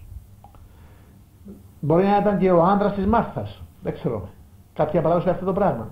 Και ενώ έτρωγα στο τραπέζι είναι εκεί, μπαίνει αυτή η γυναίκα η κακής διαγωγής, γονατίζει μπροστά του και σπάζει τον μπουκάλι με τον μύρον του αλαβάστρινο και τον, άδειε, τον άρδο στα του Χριστού. Α, η αξία αυτού του μύρου ήταν 300 δινάρια. 300 δινάρια λίτα είναι για την εποχή εκείνη ήταν ο ετήσιος μισθός ενός εργάτη. Mm. Και σκουπίζει τα πόδια του με το μεγαλύτερο κεφαλής της. Και ο Σίμων διαμαστήρεται, λέει, μα δεν είναι κατάλαβε τούτη. Μια γυναίκα του πεζοδρομίου. Και του λέει, Σίμων, να σου πω κάτι. Αυτή η γυναίκα, του λέει, στα σπίτι σου εσύ, δεν μου έδωσες νερό να πίνω τα πόδια μου. Δεν μου έδωσες τα πόδια μου. Που αυτή ήρθε εδώ και ε, ε, συναισθανόμαι τις αμαστίες της αυτή η γυναίκα, mm. συνέχεια με κάνει αυτό το πράγμα. Mm-hmm. Και δεν το ξέρει το γαμί. Διότι η αγάπησε πολύ. Mm. Για να δείξει ο Χριστός Ελίτα και να πει σε εμάς όλους μας να μην κρίνουμε κατόψιν τους ανθρώπους. Mm-hmm. Ο κάθε άνθρωπος Ελίτα είναι μια εικόνα του Θεού ανεξάρτητα από την θέση στην οποία αυτός mm-hmm. βρίσκεται και λέει θα μείνει εις αιώνιο μνημόσυνο για τη γυναίκα αυτή αυτό που έκαμε. Mm. Και βάλ, βάλλοντας το μήλο στα πόδια μου, λέει αυτή επήρε τον τίτλο της μυροφόρου γυναίκας. Mm -hmm. Εις το ενταφιάσε με επίησε. Ναι, λέει πάρα πολλά όντως και δεν πρέπει να απομακρυνόμαστε από την ουσία της ε, παρουσίας του. Και, και λέει κάτι άλλο, να μην ελίτα ο καθένας από εμάς να μην απορρίπτει ποτέ κανέναν άνθρωπο, mm. όποιος είναι αυτός. Αυτός είναι συνήθεια σε μερικούς κύκλους να γίνεται. Δηλαδή κάποιοι, ακόμα και οι ιερείς, απομακρύνονται από αυτούς που έχουν περισσότερο ανάγκη με, το, με την έννοια ότι αυτή δεν είναι τυπολάτρεση, αυτή δεν είναι αυτό που θα έπρεπε να είναι. Δηλαδή το έχουμε εύκολο ακόμα και οι ιερείς να κρίνουμε και να καταδικάσουμε. Και να σου πω κάτι, Ελίδα. Ναι. Ε, μπορεί όλοι οι άνθρωποι, να πω το εξής. Ε, πρώτα απ' όλα και οι ιερείς προέρχονται από εμάς. Να είμαστε... Θα έπρεπε να είναι, ήταν... Είναι, είναι από τη ζήμη τη δική μας. Θα έλεγε κανείς ότι ε, περιμένει από αυτούς που είναι πρεσβευτές. Υπάρχουν ναι. και ιερείς αυτή τη στιγμή που αναρίσκονται οι άνθρωποι αυτοί για τον πλησίον τους. Οπωσδήποτε. Υπάρχουν και ιερείς οι οποίοι, οι οποίοι θυσιάζονται καθημερινά. Οπωσδήποτε Εντάξει. και συμφωνώ μαζί σας και το βλέπουμε. Και όπως υπάρχουν και άλλοι άνθρωποι ναι. που έχουν θέσεις και είναι σε διάφορα γραφεία και πας και μιλάς τους και δεν, δεν μπαίνουν στο κόμμα να σου πούνε ένα χαίρετε. Ακριβώς. Ακριβώς. Άρα ο Χριστός έκανε αυτό το πράγμα, Ελίζα. Λοιπόν, ο ίδιος ο Χριστός έδωσε αυτό το παράδειγμα από το, από το κάθε λεπτό που είναι κατεγραμμένο της ζωής του και παρόλα αυτά κάποιοι από εμάς... Αν εφαρμόζουμε. Α, ναι. Πάμε να δούμε το πρώτο μας ρεπορτάζ και επιστρέφουμε με περισσότερα τηλεφωνήματα. Είναι πάρα πολλά. Θέλω να απαντήσουμε στους τηλεθετές γιατί μαθαίνουμε και πράγματα που δεν γνωρίζαμε. Λοιπόν, μείνετε μαζί μας. Ο Χριστός έζησε και δίδαξε το έργο του στην περιοχή της Παλαιστίνης, ενώ από την βίβλο της συγκεκριμένη περιοχή την ξέρουμε σαν την ηγή που έτρεχε το μέλι και το γάλα. Η βασική κοιτίδα του χριστιανισμού είναι η Βόρεια Ιουδαία. Από εκεί καταγόταν η Παρθένος Μαρία, η Μεγδαληνή και ο Ιωσήφ. Σε αυτήν ακριβώς την περιοχή γεννήθηκε και μεγάλωσε ο γιος του Θεού. Περιοδεύοντας όλα αυτά τα γραφικά χωριά, πέρασε τον περισσότερο καιρό του διδάσκοντας τον λαό και θεραπεύοντας τους αρρώστους. Η πρωτεύουσα της Ιουδαίας ήταν τότε η Ιερουσαλήμ. Ήταν η Αγία Πόλη των Εβραίων. Η Ιερουσαλήμ είναι δεμένη με την ζωή και την δράση του Ιησού Χριστού. Εκεί πήγε για πρώτη φορά ο Ιησούς όταν ήταν 12 χρονών και εκεί δίδαξε αργότερα. Σε αυτή την πόλη έκανε πολλά θαύματα, ήρθε σε αντίθεση με τους γραμματείς και τους φαρισαίους, όπου συνελήφθηκε, δικάστηκε, καταδικάστηκε και στην συνέχεια σταυρώθηκε, θαύτηκε και αναστήθηκε. Σε αυτή την πόλη που πολλοί την ταυτίζουν με τους Αγίους Τόπους βρίσκονται παλαιά και πανάγια μνημεία που αποτελούν αιώνια προσκυνήματα για την χριστιανοσύνη. Εκεί είναι ο Γολγοθάς και ο Πανάγιος Τάφος. Κοντά στην Ιερουσαλήμ είναι και η Βιθλεέμ που μέσα σε μία φάτνη γεννήθηκε ο Κύριος. Κοντά επίσης είναι το όρος των Ελαιών, η Γεστημανή, η Βιθανία και το Θαβόρ. Κατά την άποψη των Ευαγγελιστών, εκεί έγινε η μεταμόρφωση του Σωτήρα. Έξω από την Ιερουσαλήμ και τους πρόποδες του βουνού Θαβόρ βρίσκονται οι κήποι της Γεστημανή, όπου ο Ιούδας με ένα φίλημα παράδοσε τον δάσκαλό τους στους γραμματείς και τους φαρισαίους, καθώς και το όρος των μακαρισμών. Το βουνό αυτό ονομάζεται έτσι γιατί από την κορυφή του ο Ιησούς δίδαξε την επί του όρους ομιλία που περιέχει και αποτελεί όλη την ηθική των χριστιανών και κατ' επέκταση όλου του χριστιανισμού. Στην περιοχή της Γαλιλαίας βρίσκεται και η Ναζαρέτ. Αυτό ήταν το χωριό που μεγάλωσε ο Ιησούς. Είναι χτισμένο σε υψόμετρο περίπου 350 μέτρα. Στην βίβλο και πιο ειδικά στην Καινή Διαθήκη αναφέρονται και τα άλλα μέρη όπου έζησε και δίδαξε ο Ιησούς. Στη βορειοδυτική τώρα όχθη της λίμνης Τιβεριάδας βρισκόταν η Καπερναούμ που σημαίνει πόλη της παρηγοριάς. Η πόλη αυτή μαζί με την Ναζαρέτ και την Βιθλεέμ αποτελούσαν το κυριότερο ορμητήριο του Ιησού στο θεϊκό του έργο. Κοντά σχετικά στα Μάγδαλα βρίσκεται μια κομμόπολη, η Κανά. Στην Κανά τη θυμίζει το θαύμα του Ιησού σε ένα γάμο όπου μετέβαλε το νερό σε κρασί. Στους Άγιους Τόπους υπάρχει η Βιθανία, η πόλη που γεννήθηκε ο φίλος του Ιησού ο Λάζαρος και οι αδερφές του Μαρία και Μάρθα. Αξιοσημείωτο είναι ότι ο τάφος του Λαζάρου υπάρχει ακόμη και σήμερα. Πηγαίνει κανείς αυτόν κατεβαίνοντας μία σκάλα από 27 σκαλοπάτια. Στην Βιθανία επίσης υπάρχει ακόμη και σήμερα ελληνικό μοναστήρι αφιερωμένο στον Λάζαρο. Από την πρώτη στιγμή της εξάπλωσης του χριστιανισμού πλήθη από προσκυνητές επισκέπτονταν τους Αγίους τόπους και ιδίως τον Ιορδάνη ποταμό, όπου όσοι βρίσκονταν στο στάδιο της κατήχησης βαφτίζονταν σύμφωνα με το παράδειγμα του ιδρυτή της χριστιανικής θρησκείας Ιησού Χριστού. Ένας επισκέπτης των Αγίων Τόπων μπορεί μέσα από την ονειροπόληση των τόσων αιώνων ιστορίας και κάτω από την επίδραση της τόσο όμορφης φύσης να συγκινηθεί, να γαλινεύσει, να αισθανθεί την ανάγκη για αγάπη του κάθε ανθρώπου. Τα πράγματα που πιο πολύ απ' όλα θα μας συγκινήσουν είναι το σπήλαιο των μάγων, η λεκάνη γύρω από την Τιβεριάδα λίμνη με όλες τις πόλεις της Πεντάπολης που τόσο είναι συνδεδεμένες με την ζωή και την διδασκαλία του Ιησού. Τέλος, το αποκορύφωμα ο Γολγοθάς που αποτελεί το επισφράγισμα της διδασκαλίας του Χριστού με την θυσία του στο σταυρό του μαρτυρίου. Εκεί, σε εκείνα τα μαγευτικά τοπία, μαζί με την εξαίσια φύση, άνθησε και η διδασκαλία του Κυρίου. Άνθησε η αγάπη, η ειρήνη και η πραγματική φιλία και στο μυστηριακό περιβάλλον διαχέεται ακόμη ο απόϊχος της γλυκύτατης και θεϊκής προσταγής «Αγαπάτε αλλήλους».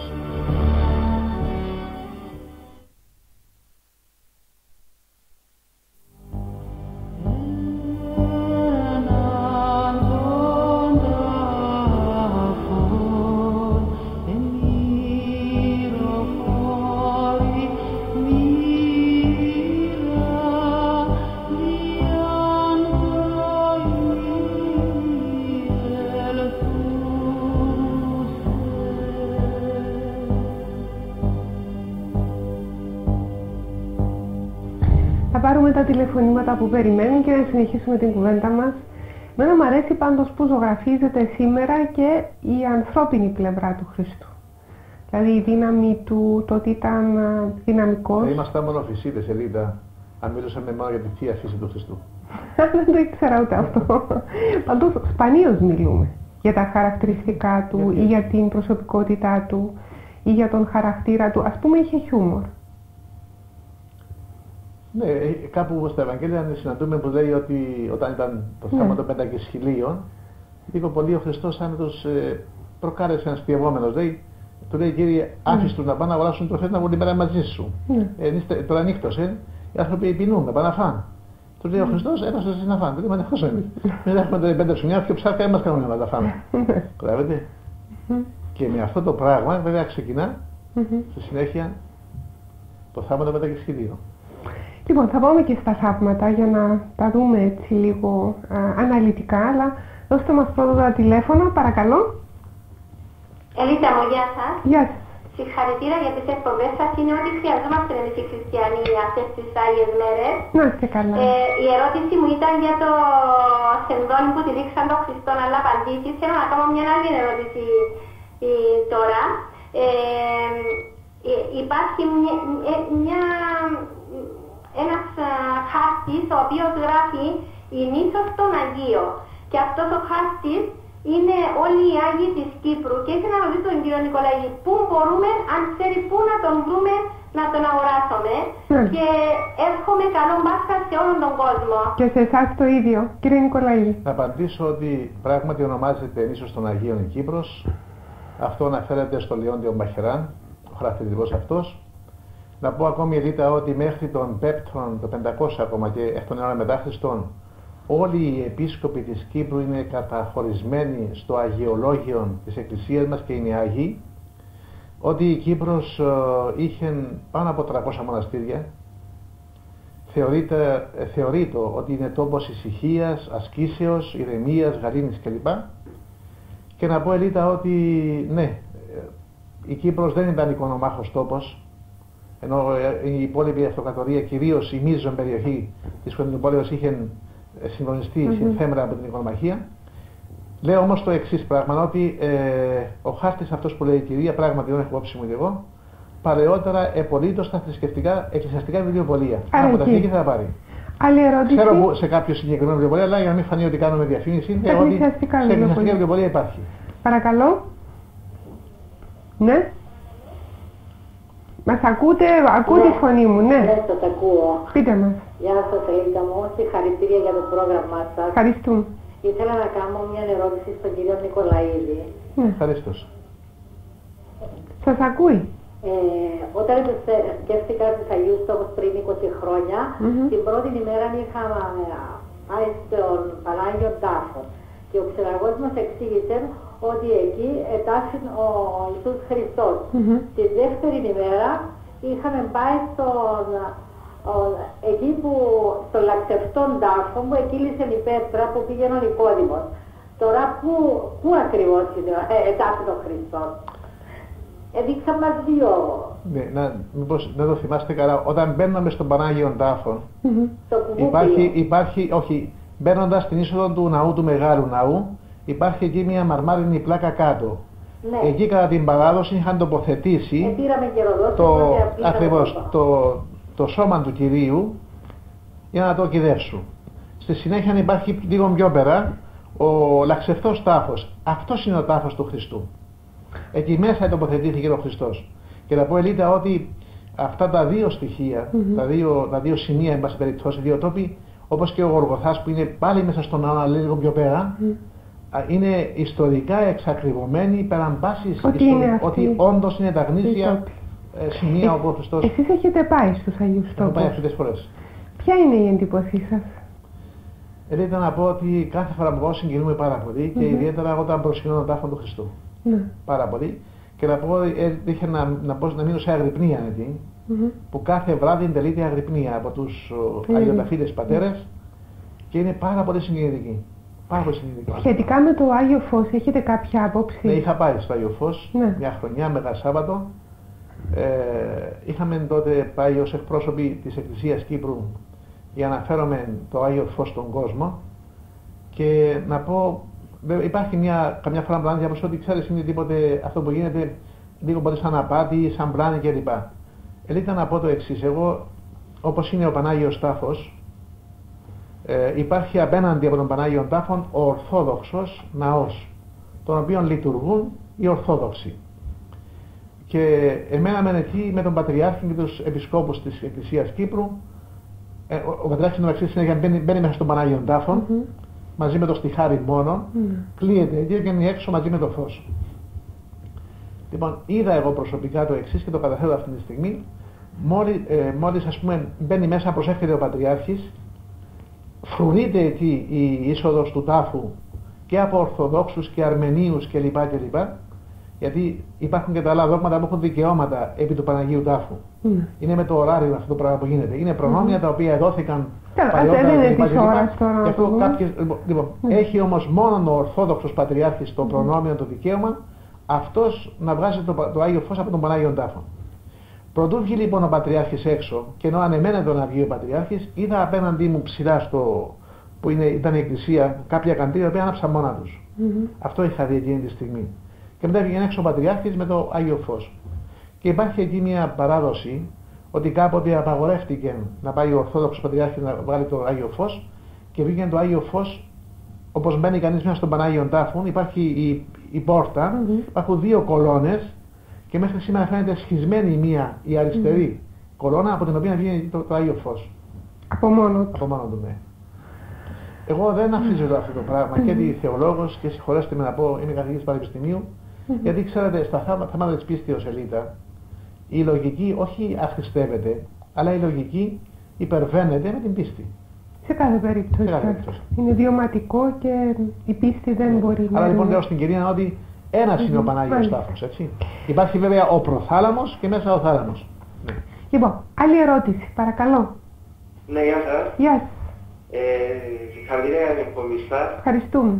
Θα ήθελα να ρωτήσω αν ο Χριστός είναι Έλληνας ή, ή Εβραίος. Μμ, Να απαντήσω Ναι. ναι. Εβραίος ο Χριστός. ναι, Και ο Χριστός υπέστη, γεννήθηκε από Εβραίους. Ναι. Εβραία, Εβραία ήταν η μητέρα του. ναι.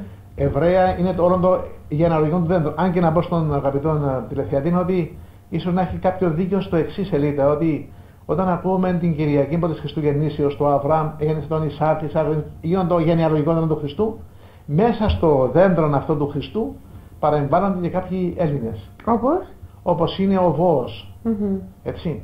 Και λέω τώρα ότι ήταν όμως ο Χριστός Εβραίος στην καταγωγή, γι' αυτό εδέχθη και όλα τα του νόμου και την περιτομή και όλα τα, τα υπόλοιπα. Αυτή η φημολογία της σχέσης που είχε η οικογένειά του με τους Εσέους Λίτα, κοίταξε κάτι. Αυτό δεν είναι ιστορικά εξακριβωμένο. Να πω ότι τότε στην εβραϊκή κοινωνία υπήρχαν οι διάφορες παρατάξεις ή ομάδες θρησκευτικές, όπως οι Φαρισαίοι, οι Σαδουκαίοι, οι Ηρωδιανοί και οι Εσέοι. Η Εσέοι ήταν μια θρησκευτική ομάδα. Ε, πολύ, πολύ μεγάλη ναι. πίστη. Και να πω, εγώ έχω πάει στο Κουμπρά Ναι. και το έχω επισκεφθεί. Μμμ. Δυστυχώς δεν πηγαίνουν οι προσκυνητές εκεί γιατί ίσως τους ενδιαφέρει άμεσα. Εμένα με ενδιαφέρει όμως ως θεολόγων να δω τι γίνεται. Ερευνήτης. Αυτή η υπόθεση ξεκινά, αν επιτρέπετε, λίγο σύντομα το, το 1947. 1947. Όταν κάποιος Βεδουίνος σε αυτή την Μμμ. έρημο του Ιορδάνου ποταμού έχασε έναν από τα ζώα του, Μμμ. μια κατσίκα του. Ψάχνοντα να βρει αυτό το πράγμα, σε κάποια στιγμή, όντας πάνω σε κάποιο βράχο, κοιτάζει μια τρύπα. Ρίχνει μια πέτρα μέσα, ακούει κάτι να σπάζεται. Είναι λίγο πονηρή η Βεδουίνη. Έφεραν άλλου, κατεβαίνουν κάτω και βρήκαν σε κάποια δοχεία, πύληνα. Και βρήκαν εκεί μέσα στο πρώτο του, του κουμπράνου, όπως λέγεται το σπήλαιο, κάμποσα πύληνα αγκία και μέσα είχαν χειρόγραφα. Μάλιστα. Αυτοί περίμεναν να βρουν χρήματα. Δεν έβγαλαν χρήματα. Τελικά τα επούλησαν αυτά σε κάποιους αρχαιοκαπήλους στην Ιερουσαλήμ και από εκεί κρυφά, 47 μιλάμε τότε που δεν υπήρχε εκβάθο του Ισραήλ. Μμμ. Ε, Πήγα στην, πήγα στα, πήγα στην ε, Αμερική. Έπεσαν κάποια στιγμή σε χέρια κάποιων ειδημόνων και ξεκίνησε από εκεί η έρευνα που τα βρήκε, ποιος τα βρήκε και έφτασαν στο Κουμπράν. Εκεί λοιπόν σε αυτήν την κουμπρά, στο κουμπρά βρεθήκαν τελικά τέσσερα μεγάλα σπήλια που είναι γεμάτα από χειρόγραφα μέσα σε δοχεία. Και ανακαλύφθη η κοινότητα των Εβραίων, των Εσέων, συγγνώμη. Οι Εσέοι ήταν χωρισμένοι σε δύο ομάδες. Η μία ήταν οι άγαμοι Εσέοι, Μμμ. που ζούσαν με αυστηρών τρόπων ζωή, ασκητικό κλπ. κλπ. Και υπήρχαν και οι έγγαμοι Εσέοι με παιδιά. Λοιπόν, για τον Χριστό δεν λέγονταν Εσέο, περισσότερο λέω ότι μάλλον ο Ιωάννης ο πρόδρομος είχε κάποια σχέση με τους Εσέους. Μάλιστα.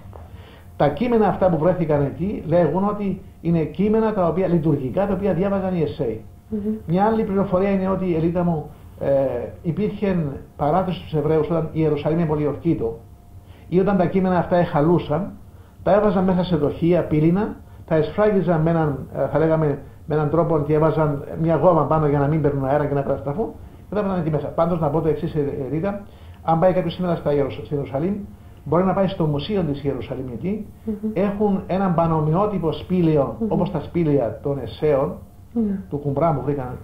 Και εκεί μπορεί να δει κανείς πώς ήταν αυτή η κοινότητα. Εν Πάντως, πάση περιπτώσει, όμως να πω, διαφοροποιεί το, η κοινότητα από τους υπόλοιπους Εβραίους. όπως και οι άλλοι, ναι. Ναι. Όπως και οι άλλοι. Όπως και οι Σαδοκαίοι, ήταν μια άλλη κοινότητα, μια άλλη Ναι. ομάδα θρησκευτική. Μάλιστα. Η Ροδιανή άλλη ομάδα θρησκευτική. Ότι είχαν ιδιαίτερη πίστη η οικογένεια του Χριστού. Κοίταξε, Ε, Ελίτα μου, ήταν όλοι οι ναι. Εβραίοι, ήταν όλοι οι Εβραίοι, μάλλον ε, ο- ήταν, δια- είχαν και διαφορετικές αντιλήψεις φυσικά μερικές φορές σε κάποια πράγματα. Οι Εσέ ήταν οι αυστηροί θα λέγαμε Εβραίοι, Μμ. οι πολύ αυστηροί Εβραίοι. Ωραία. Δώστε μας την άλλη ερώτηση, παρακαλώ. Ελίτα, συγχαρητήρια εσύ εκπομπή σας. Να είστε καλά. Ευχαριστούμε. Εγώ μιλώ; Εσείς βεβαίως. Ε, ακούστε, άκουσα προηγουμένως ότι ο Χριστός είχε έναν αδελφό. Μμμ.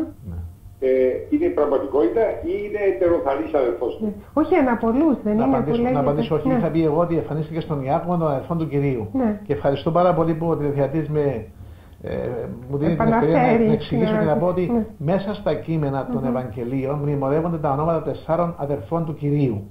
Είναι ο Ιάκωβος, ο Ιούδας, ο Σίμωνας και ο Ιωσής. Ένα, ένα. Ο Ιούδας όμως, Όχι αυτός. όχι ο Ισκαριώτης, Μάλιστα. όχι ο προδότης. Ο Ιάκωβος, ο, ένας από τους Ο Αποστόλους Ιάκωβος, του. ο αδερφόθεος, Ναι. Ο οποίος είναι και ο πρώτος επίσκοπος Ιεροσολύμων Μμμ. και ο οποίος μας έγραψε την ομώνυμη επιστολή Μμμ. και υπάρχει μέσα στην Καινή Διαθήκη. Άρα είναι Είναι αδερφός μία από τις αυτός. 27 επιστολές. Ναι. Υπάρχει η επιστολή του Ιούδα, Ναι. πάλι του αδερφοθέου, Μμμ. που είναι πράγματι επιστολή του αδερφού του Κυρίου. Όμως τα τέσσερα αυτά, θα λέγαμε αδέρφια του Χριστού, οι άνδρες αυτοί, ήταν παιδιά του Ιωσήφ από προηγούμενη γυναίκα. Μάλιστα. Μνημονεύονται στην παράδοση και δύο από τις αδερφές του Χριστού. Δεν έχουμε τα ονόματά τους. Μμμ. Παραδείγματο η παράδοσης εν πάση Άρα είναι περιπτώσει. από τον πατέρα του. Αλλά ο Χριστός, ο Χριστός δεν είχε ένα αδέλφια από τη μητέρα του. Μμμ. Και είναι πλάνη ελίτα να λέγουν διάφοροι σήμερα, λυπούμε που το λέω αυτό το πράγμα, χριστιανικές ομάδες ή κερατικές ομάδες, ότι ο Χριστός, μάλλον η Παναγία, μετά την γέννηση του Χριστού, απέκτησε παιδιά με τον Ιωσήφ. Μμ. Ο Ιωσήφ ήταν υπέργυρος, ήταν 80 ετών, ο ρόλος του δεν ήταν να γίνει σύζυγος της Παναγίας, αλλά προστατιστής. Πόσο χρόνο ήταν η Παναγία όταν γέννησε τον Χριστό; 15 ετών. Ήταν πολύ μικρή. Άρα ήταν και πολύ μικρή όταν σταυρώθηκε Πολύ μικρή. ο Ιησούς. Παρακαλώ. Ναι, Hello. ναι, σας ακούμε. Hello. Σας ακούμε, είστε στον Ναι, αέρα. ε, Ναι. Είμαι, είμαι ο, ο κύριος Κρήτημος Ένους εγώ. Είναι μερικά θέματα τα οποία χωρί και χαιρετήματα ε, ε, ε, στην εκπομπή σας Να και είστε στον καλά. Δ. Νικολαίδη, το παλιό μου φίλο. Μμμ. Το, λοιπόν, ήθελα να, να πω όταν ήμουν στην Αγγλία, ήμουν μικρός, ήμουν 17 χρονών. ε, πήγα- ε, Πήγα στην Αγγλία για 17 χρονών και μίλησα στο σπίτι του, του θείου μου, του Γρηγόρη. Μμμ. Το λοιπόν μία νύχτα αν πήγα να πλαγιάσω, το λοιπόν σαν πήγα να πλαγιάσω και έτυχα το φως, είδα τρεις α- α- α- άναψε το φως, άναψε το φως της κάμαρης και είδα τρεις ανθρώπους να μπαίνουν μέσα στο, να- να μπαίνουν μέσα στο δωμάτιο μου τρεις ανθρώπους. Μμμ. Αυτοί οι άνθρωποι ήταν με, με τα γένια, είχα- είχαν την, ε, κάτι ρούχα τα οποία ήταν πέτσα, δεν ξέρω για ρέστα και μόλις τους είδα δεν κοιμούνα, πήγα να πλαγιάσω και έτυχα το φως και α- α- α- αυτομάτως ε, εμφα- εμφανιστήκαν οι- αυτοί- οι τρεις αυτοί οι άνθρωποι. Μμμ. Το λοιπόν και του λέγω εγώ δεν έκανα κανέναν κακό, δεν εθιμίσα καμιά κοπέλα, τι θέλετε από μένα, ε, φοβήθηκα πάρα πολλά. Λέγω μου δεν ήρθαμε εδώ, δεν ήρθαμε εδώ να σε δέρουμε ή να σου κάνουμε κακό, ήρθαμε εδώ να σε πάρουμε να δεις τον Χριστό. Το λοιπόν λέω τους και εγώ, εντάξει, ε, ε, πιάσαμε ένας από, τη, ο- α- από, τη, από, τη, ε, από το ένα το χέρι, ο άλλος από το άλλο χέρι, το χέρι και με βγάλανε ψηλά. Το λοιπόν λέω μου μην κοιτάξεις πάνω, με βάσου- με βάσουσαν εύκολα. Το λοιπόν μην κοιτάξεις κάτω λέω. Το λοιπόν εγώ μετά ε, ε, ε, φοβήθηκα, έβασα το σφιχτά σφιχτά. Το λοιπόν μετά με βγάλανε πάρα πολύ ψηλά. Το λοιπόν ε, όταν με βγάλανε ψηλά είδα ένα μεγάλο σπίτι, ένα σπίτι μεγάλο τετράγωνο σπίτι όπως και είχα, είχε μια πόρτα όπως την εκκλησία, την παλιά εκκλησία. Το λοιπόν ε, και είχε ένα κόκκινο, κόκκινο πέτσι και να δούμε να παρπαρίσει πάνω σε αυτό το κόκκινο πέτσι και να μπει μέσα σε αυτό, σε αυτό το δωμάτιο. Το λοιπόν, ε, λέω ότι αποκλείεται να περπατήσω από το κόκκινο το πέφτει και να προχωρήσω μέσα στο αυτό το... αυτό Κατα... το Θέλω να καταλήξετε τι έγινε και να πάρετε την απάντησή σας. Ναι. Μπήκα, ε, μπήκα μες στο δωμάτιο μέσα, μόλις μπήκα μες στο δωμάτιο Μμμ. μέσα, στη δεξιά γωνία της, ε, του δωματιού είδα τον Ιησού Χριστό όπως τον είδαμε στην τηλεόραση με τα άσπρα, Μμμ. με τα άσπρα. Το λοιπόν, ο Ιησούς Χριστός ήταν κοντός, δεν ήταν ψηλός, ήταν καστανά μάτια, καστανά, ε, καστανά, καστανά μαλλιά και λίγο μπροστά γιουρά. Το λοιπόν, και έστε- αλλά όπως τον είδαμε στην τηλεόραση. Έτσι, Σας ευχαριστούμε, σας ευχαριστούμε πολύ κύριε Νικολαίδη. Ελίδα, κοιτάξτε, Ναι. δεν ξέρω ακριβώ τι είδε ο κυρίω. Ένα όραμα έτσι Δεν όπως αποκλείω ακούγεται. εγώ, δεν Ναι. αποκλείω και ο Γεροπαΐσιος, να πω το Ναι. εξή για να δώσω μια απάντηση γενικότερη. Ε, Πρωτού πάει μοναχός ο ίδιος, ε, πήγε στο χωριό του κάποτε κάποιος, τον σκανδάλισε τον γέροντα, ήταν νεαρός τότε, πιστεύει στα πράγματα κλπ. Και με παράπονο πολύ πήγαινε έτσι μέσα και προσευχόταν. Και σε κάποια στιγμή είδε πράγματι τον Χριστόν εν οράματι. Μμμ. Και στη συνέχεια η Ελίτα έχει έδωσαν εντολή και αποτύπωσαν τον Χριστόν και εγώ έχω εκείνη την. Όπως τον είδε. Όπως τον είδε τον Χριστόν εκεί. Δηλαδή δεν αποκλείονται, δεν αποκλείονται είτε εμφανίσεις Αγίων είτε του ίδιου του Χριστού. Τώρα για το συγκεκριμένο δεν μπορώ να πω τι συνέβη. Έτσι. Πώς τον, α, πώς τον περιγράφει ο Άγιος Παΐσιος Ο τον Χριστό; Παΐσιος, όπως τον περιγράψαμε προηγουμένως, έτσι, Δηλαδή, με γλυκή πρόσωπο, ναι. ήταν, ο Χριστός, να ξέρετε, ήταν, ε, Ρίτα, ήταν παρθενογένειος. Δηλαδή, γι' αυτό βλέπετε και όταν απεικονίζεται Μμμ. στις εικόνες ο Χριστός, το πρόσωπο, τα γένια του είναι αυτά που εφήτρωσαν ευθύς εξ αρχής. Δεν είχε Δεν τα, δεν τα είχε- έκοψε είχε κόψει, όχι ποτέ. Ναι. Ναι. Και το πρόσωπο του είναι όμορφο και ηλαρό. Του Γεροπαΐσιου είναι με γαλανά μάτια. Είχε καλύτερο φίλο. Ο Χριστός φίλο Ναι. καλύτερο. Κοιτάξτε, ε, καταρχήν οι τρεις μαθητές του οι οποίοι, όχι γιατί ο Χριστός είχαμε διακρίσεις, αγαπούσαν όλους τους μαθητές και όλους τους ανθρώπους. Λένε όμως γιατί είχε τρεις μαθητές, τον Πέτρον, Ιάκωβο και Ιωάννη, και τους παίρνει στο Θαβόρ μόνους αυτούς Μμμ. και δεν παίρνει άλλους, γιατί αυτοί τον αγαπούσαν περισσότερο από τους άλλους. Ήταν εκείνοι Προφανώς, που τον ναι. αγαπούσαν περισσότερο. Και την Αλλά να πω Μαγδαληνή, ότι, ναι. ότι, ότι ε, η οικογένεια του Λαζάρου ήταν προσφυλή στον Χριστό και Μμμ. πολλές φορές έμενε στο σπίτι τους και έφαγε στο σπίτι τους. Η Μαγδαληνή Μαρία είναι μια παρεξηγημένη αυτή η κατάσταση πραγμάτων. Όχι, μιλώ αν ήταν ε, μαθήτριά του. Ήταν μεγάλης ηλικίας η Μαγδαληνή Ναι. Μαρία και το Ευαγγέλιο λέει ότι ήταν δαιμονισμένη. Ναι. Και την θεράπευσε ο Χριστός. Ήταν μαθήτριά Βεβαίως του. μαθήτριά του. Άρα είχε γυναίκες μαθήτριες. Όχι μόνο γυναίκες και Ναι. μαθήτριες, είχε όμιλον, είπα προηγουμένως, γυναικών, Ναι. οι οποίες στα Ευαγγέλια σημειώνουν μέσα τον διακονούσαν εκ των υπαρχόντων. Δηλαδή Πώς- πώς αν- του εμαγείρευαν από τα φαγητά τους, τον έπαιρναν και είναι μεγάλη υπόθεση αυτό που έκαναν οι γυναίκες εκείνες να περιποιούν τον Χριστό. Διότι τους έδωσε μια θέση που... Εντάξει, κανένας άλλος δεν είχε Και στο δώσει τέλος, στο στην τέλος γυναίκα Ελίτα, αυτή ναι, τη να πω θέση. ότι πήραν το προνόμιο Ναι. να δεχτούν πρώτες το μήμα της Ανάστασης. Ναι. Οι γυναίκες. Και οι πρώτες που πίστεψαν. Και στο πρόσωπο των γυναικών, όπως και της Ναι. μητέρας του, και να πω εδώ, Ελίτα, ότι μεταξύ των γυναικών η κορυφαία του χορού των γυναικών ήταν η Παναγία. Ήταν πάντα μαζί Αλλήμον. τους. Ναι. Και είδα και στον τάφον η Παναγία. Ναι. Γι' αυτό λέει το, το, το, το πολιτικό, η πίντη αυτή παρθένο δρόμενο στη ζωή. Μμμ. Άρα αυτές οι γυναίκες πήραν και ήταν μια αποκατάσταση του προσώπου της γυναίκας στο πρόσωπο των γυναικών και της μητέρας του. Η απορία μου είναι γιατί δάκρυσε όταν πέθανε ο Λάζαρος. Δηλαδή αφενός μπορούσε να τον και λέει, κα- αναστήσει. λέει παρακάτω, ακούσαμε Ναι. ναι. ότι ενευρυμίσα, δηλαδή ένιωσες έτσι κάποιον που καμιά φορά πάμε να κλάψουμε και εμείς νιώθουμε αυτό το Ναι. πράγμα. Δάκρυσε γιατί, Ναι. για, το, για το τραγικό γεγονός σελίδα του θανάτου στη ζωή του ανθρώπου. Άρα δεν δάκρυσε επειδή πέθανε ο Λάζαρος. Όχι, θα τον ανέστηκε τον Λαζαρό. Δάκρυσε επειδή Για τη συ- μοίρα των συνέβαινε ο ανθρώπων θάνατος. και τι συμβαίνει ο θάνατος στους ανθρώπους. Ναι. Αυτός είναι ο λόγος. Επίσης, απάνω στο δικό του, στο δικό του σταυρό, Ναι. την ώρα που πάει να, Σε ψυχή. να ξεψυχήσει. Εκείνη την ώρα τι είπε ακριβώς κύριε Νικολαίδη και δεν έχουμε καθαρή ερμηνεία; Κοίταξε, ο Χριστός Ναι. ε, είπε κάποιες φράσεις Ναι. πάνω στο Χριστό.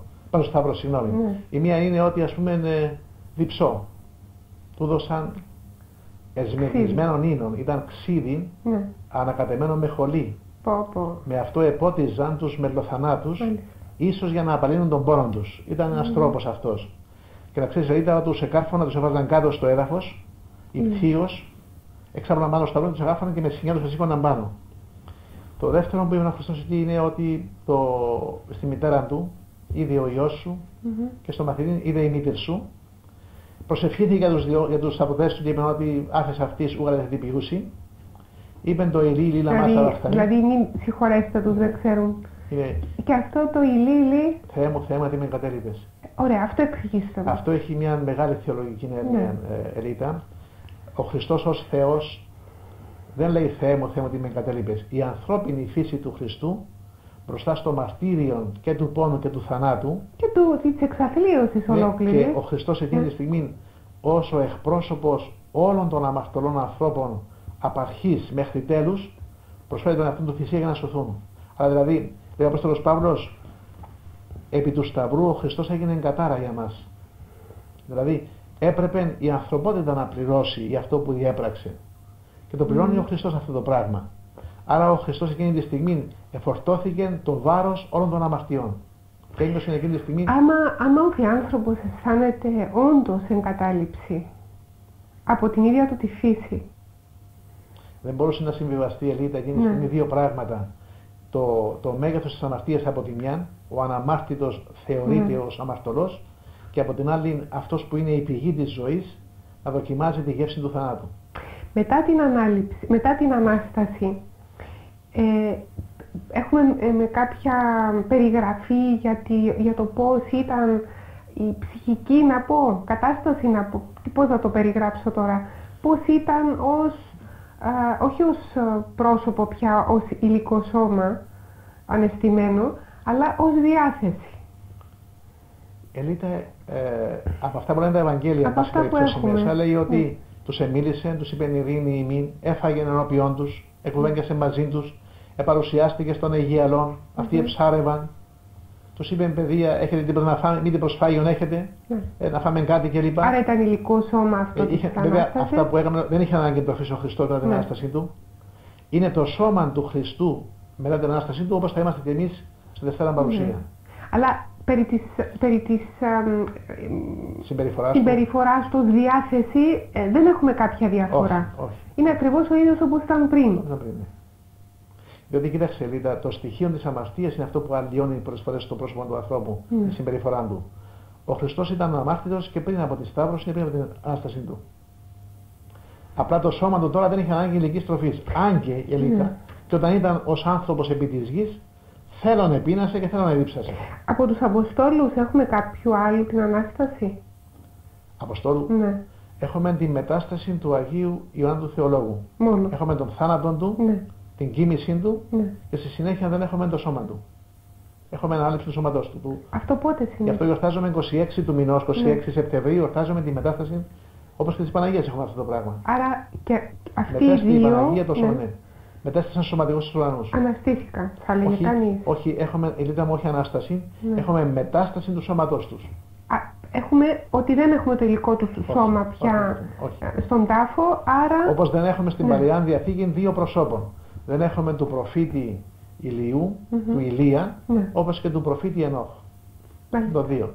Οι οποίοι βέβαια δύο προφήτες Ηλίας και Ενόχ, μια Μμμ. φορά να μιλήσουμε, θα έρθουν τις ημέρες του Αντιχρίστου. τι Στον κόσμο. εννοείται θα έρθουν; Όταν θα έρθει ο Αντίχριστος επί της Ναι. γης, ο οποίος θα βασιλεύσει 42 μήνες, 3,5 χρόνια, Ναι. τότε σε αυτόν το διάστημα θα, εμφα- θα επανεμφανιστούν ο προφήτης Ηλίας και ο Ενόχ. Αυτό είναι προφητεία. Αυτή είναι προφητεία της Αγίας Γραφής και των πατέρων της Εκκλησίας. Θα κηρύξουν μετάνοια στον κόσμο, θα τους σκοτώσει ο Αντίχριστος Μμμ. και ευθύνη με τον θάνατό του θα έρθει η Δευτέρα Παρουσία. Έχω διαβάσει το βιβλίο του Ενόχ. Ναι. Αυτό ισχύει ως βιβλίο ή είναι... Είναι στα, στα δευτεροκρονικά βιβλία. Λέει φοβερά πράγματα ο Ενόχ μέσα στο βιβλίο του. Μια άλλη φορά να κουβεντιάσουμε αυτό το Ο, θέμα. βεβαίως, δεν θα ξεφύγουμε τώρα. Απλά μαθαίνω συνεχώς νέα πράγματα. Να είστε Ωραία. καλά κύριε Νικολαίδη. Λοιπόν, να ακούσουμε. Παρακαλώ. Ναι, γεια Γεια σας. ε, Ήθελα να ρωτήσω. Παρακαλώ. Ναι, ναι. Ναι, διακόπτετε η γραμμή λίγο, σας ακούμε. Ναι, ήθελα να ρωτήσω για τα πνίγματα που εμφανίζονται στους καθολικούς τις μέρες που συμπίπτει το Ορθόδοξο παράδειγμα. Η, η γραμμή σας δεν ακούγεται καθόλου, πρέπει να σας ξαναπάρουμε. Πρέπει να μείνετε σταθεροί σε ένα σημείο αν είναι κινητό για, για να έχουμε καλή λήψη. Παρακαλώ. Ναι, Ελίτα μου, Εσείς. καλησπέρα. Ναι, Πολύ όμορφη η εκπομπή σας. ευχαριστούμε. Ε, ήθελα να δώσω μια προσωπική μαρτυρία για την Ιερά Συντόνη. Α, πολύ ωραία. Έτυχε να είμαι ξεναγός της Εμμανουέλας Μαρινέλη, Ναι. η οποία ήρθε στην Κύπρο το 1999 και έγραψε το βιβλίο La Sindone, Storia di un Enigma. Η Συντόνη, η ιστορία ενός ενίγματος. Εκείνο που μου έκανε εντύπωση ήταν ότι είπε η κοπέλα ότι στην αρχή ξεκίνησε την έρευνα της χωρίς να πιστεύει καθόλου και για να αποδείξει ότι η Συντόνη ήταν ένα ψέμα. Μμμ. Στην πορεία όμως ε, πίστηκε η ίδια και έγραψε διάφορα βιβλία για τη Συντόνη. Ναι. Ε, μου έστειλε το τελευταίο της και είναι πραγματικά πολύ πιστικό. Έβρισκε κοινά σημεία με, τις, ε, με το ιερό μαντήλιο Μμμ, μμμ. και θα ήθελα και την ε, γνώμη του. Σας ευχαριστούμε για αυτή τη μαρτυρία. Να πούμε στους τηλεθεατές μας αύριο να δείξουμε τότε για την Ιερά Συνδόνη. Ελίτα, Ναι, εγώ δεν να αμφισβητώ αυτό το δείξουμε. πράγμα, το είπα ευθύς εξ αρχής. Αρχικά κάποιοι το αμφισβήτησαν, το απέρριψαν, Ναι, το και θεώρησαν ότι είναι πλάνη επιστήμονες κλπ. ακόμα. Και τελικά με νεότερες ε, έρευνες που έγιναν και αναλύσεις, Και διότι υπερσύγχρονα μπορούμε τώρα σήμερα Ελίτα, με, μηχανήματα. με, τη- με τη μέθοδο του εργαστηρίου Ναι. να διακριβώσουμε τη χρονολογία να ακριβώς κάποιου πράγματος. Μμ. Πότε έγινε ακριβώς αυτό το πράγμα. Μάλιστα. Οι τελευταίες λοιπόν επιστημονικές πληροφορίες που υπάρχουν είναι ότι πρόκειται περί πραγματικού ε, υφάσματος της εποχής εκείνης. Και είναι πολύ έτσι μ, συγκλονιστική η μορφή αποτυπωμένη στην Ιερά Συνδόνη. Ρίτα μου ξέρεις κάτι, Ναι. και όταν πας στους Αγίους τόπους εκεί, ξέρεις ότι εδώ περπάτησε ο Χριστός. Ναι. Εδώ εκάθισε. Εδώ ο Χριστός τον εχτύπησαν, τον εφυλάκησαν. Εδώ ο Κύριος εμίλησε. Ναι. Εδώ ο Κύριος μετεμορφώθηκε κλπ. Γι' αυτό λέγονται οι Άγιοι τόποι. Και καμιά φορά, εγώ είχα συζητήσει κάποτε με κάποιους οι οποίοι αμφισβητούν αυτό. Λέει, μα δεν είναι Άγιοι τόποι. Οι πέτρες είναι Άγιες, τα ξύλα είναι Άγια. Η απάντηση είναι ναι, είναι Άγια. Γιατί είναι Άγια; Τα προσωπικά αντικείμενα κάποιου Αγίου είναι Άγια. Και παρέπεμψα κάποτε κάποιον ο οποίος αμφισβητεί αυτά τα πράγματα και λέω ότι όταν ο Απόστολος Παύλος ήταν στην Έφεσο, έπαιρναν τα σουδάρια, λέει η Καινή Διαθήκη, και τα σημικίνθιά του, δηλαδή τις Μμμ. πετσέτες του προσώπου του και τα μαντήλια του Μμμ. και τα έβαζαν σε ασθενείς και γίνονται καλά. Άρα λοιπόν έχουμε και αγιασμό της ύλης. Ναι. Η ύλη δέχεται τον αγιασμό από τον Θεό, για να θεολογήσουμε. Και όταν έχουμε ένα αγιασμό και διαβάζετε το νερό και γίνεται αγιασμός αυτό το νερό, δεν χάλα. Μμμ. Ή όταν έχουμε τη Θεία Ευχαριστία, το ψωμί και το κρασί, γίνεται σώμα και αίμα Χριστού. Άρα λοιπόν η ύλη είναι αποδέκτης της χάρετος του Θεού. Ναι. Γιατί λοιπόν να λέμε ότι τι σημαίνει Άγιοι τόποι; Ναι, είναι ο φρικτός Γολγοθάς, Μμμ. εκεί που σταθούν ο Κύριος. Εκεί είναι ο τάφος που ο Κύριος τοποθετήθηκε. Γιατί; Είναι η πνευματοποίηση της ύλης. Άκουσε την Κατάρινα, ε, καμιά φορά να μιλήσουμε για το θέμα τούτο και να πούμε ότι ε, δεν μιλάει η Αγία Γραφή για εξαφάνιση της ύλης στη Δευτέρα Παρουσία. Θα έχουμε καταστροφή του υλικού στοιχείου, όπως καταστροφή του υλικού στοιχείου έχουμε το σώματός μας. Και το δικό μας σώμα είδα κάποια στιγμή στον τάφο. Αλλά η διάλυση του σώματος δεν σημαίνει και η εξαφάνισή του. Η καταστροφή δεν σημαίνει ότι και εκμηνετισμό του. Γι' αυτό λέει ο Απόστολος Παύλος και λέει η Αγία Γραφή, αλλού, αναμένουμε καινούς ουρανούς και γίνει καινή. Στη Δευτέρα Παρουσία θα έχουμε έναν καινούριο κόσμο. Με όλα αυτά τα στοιχεία που βλέπουμε τώρα, αλλά θα είναι τα στοιχεία αυτά καινούργια, όλο καινούργια. Πώς θα είναι δεν γνωρίζουμε. Όπως και το δικό μου σώμα και το δικό σφαιρίτα, στη Δευτέρα Παρουσία που έχουμε ανάσταση των νεκρών, δεν έχουμε ανάσταση των, των ψυχών. Η ψυχή δεν πεθαίνει. Mm. Έχουμε ανάσταση του νεκρού σώματος.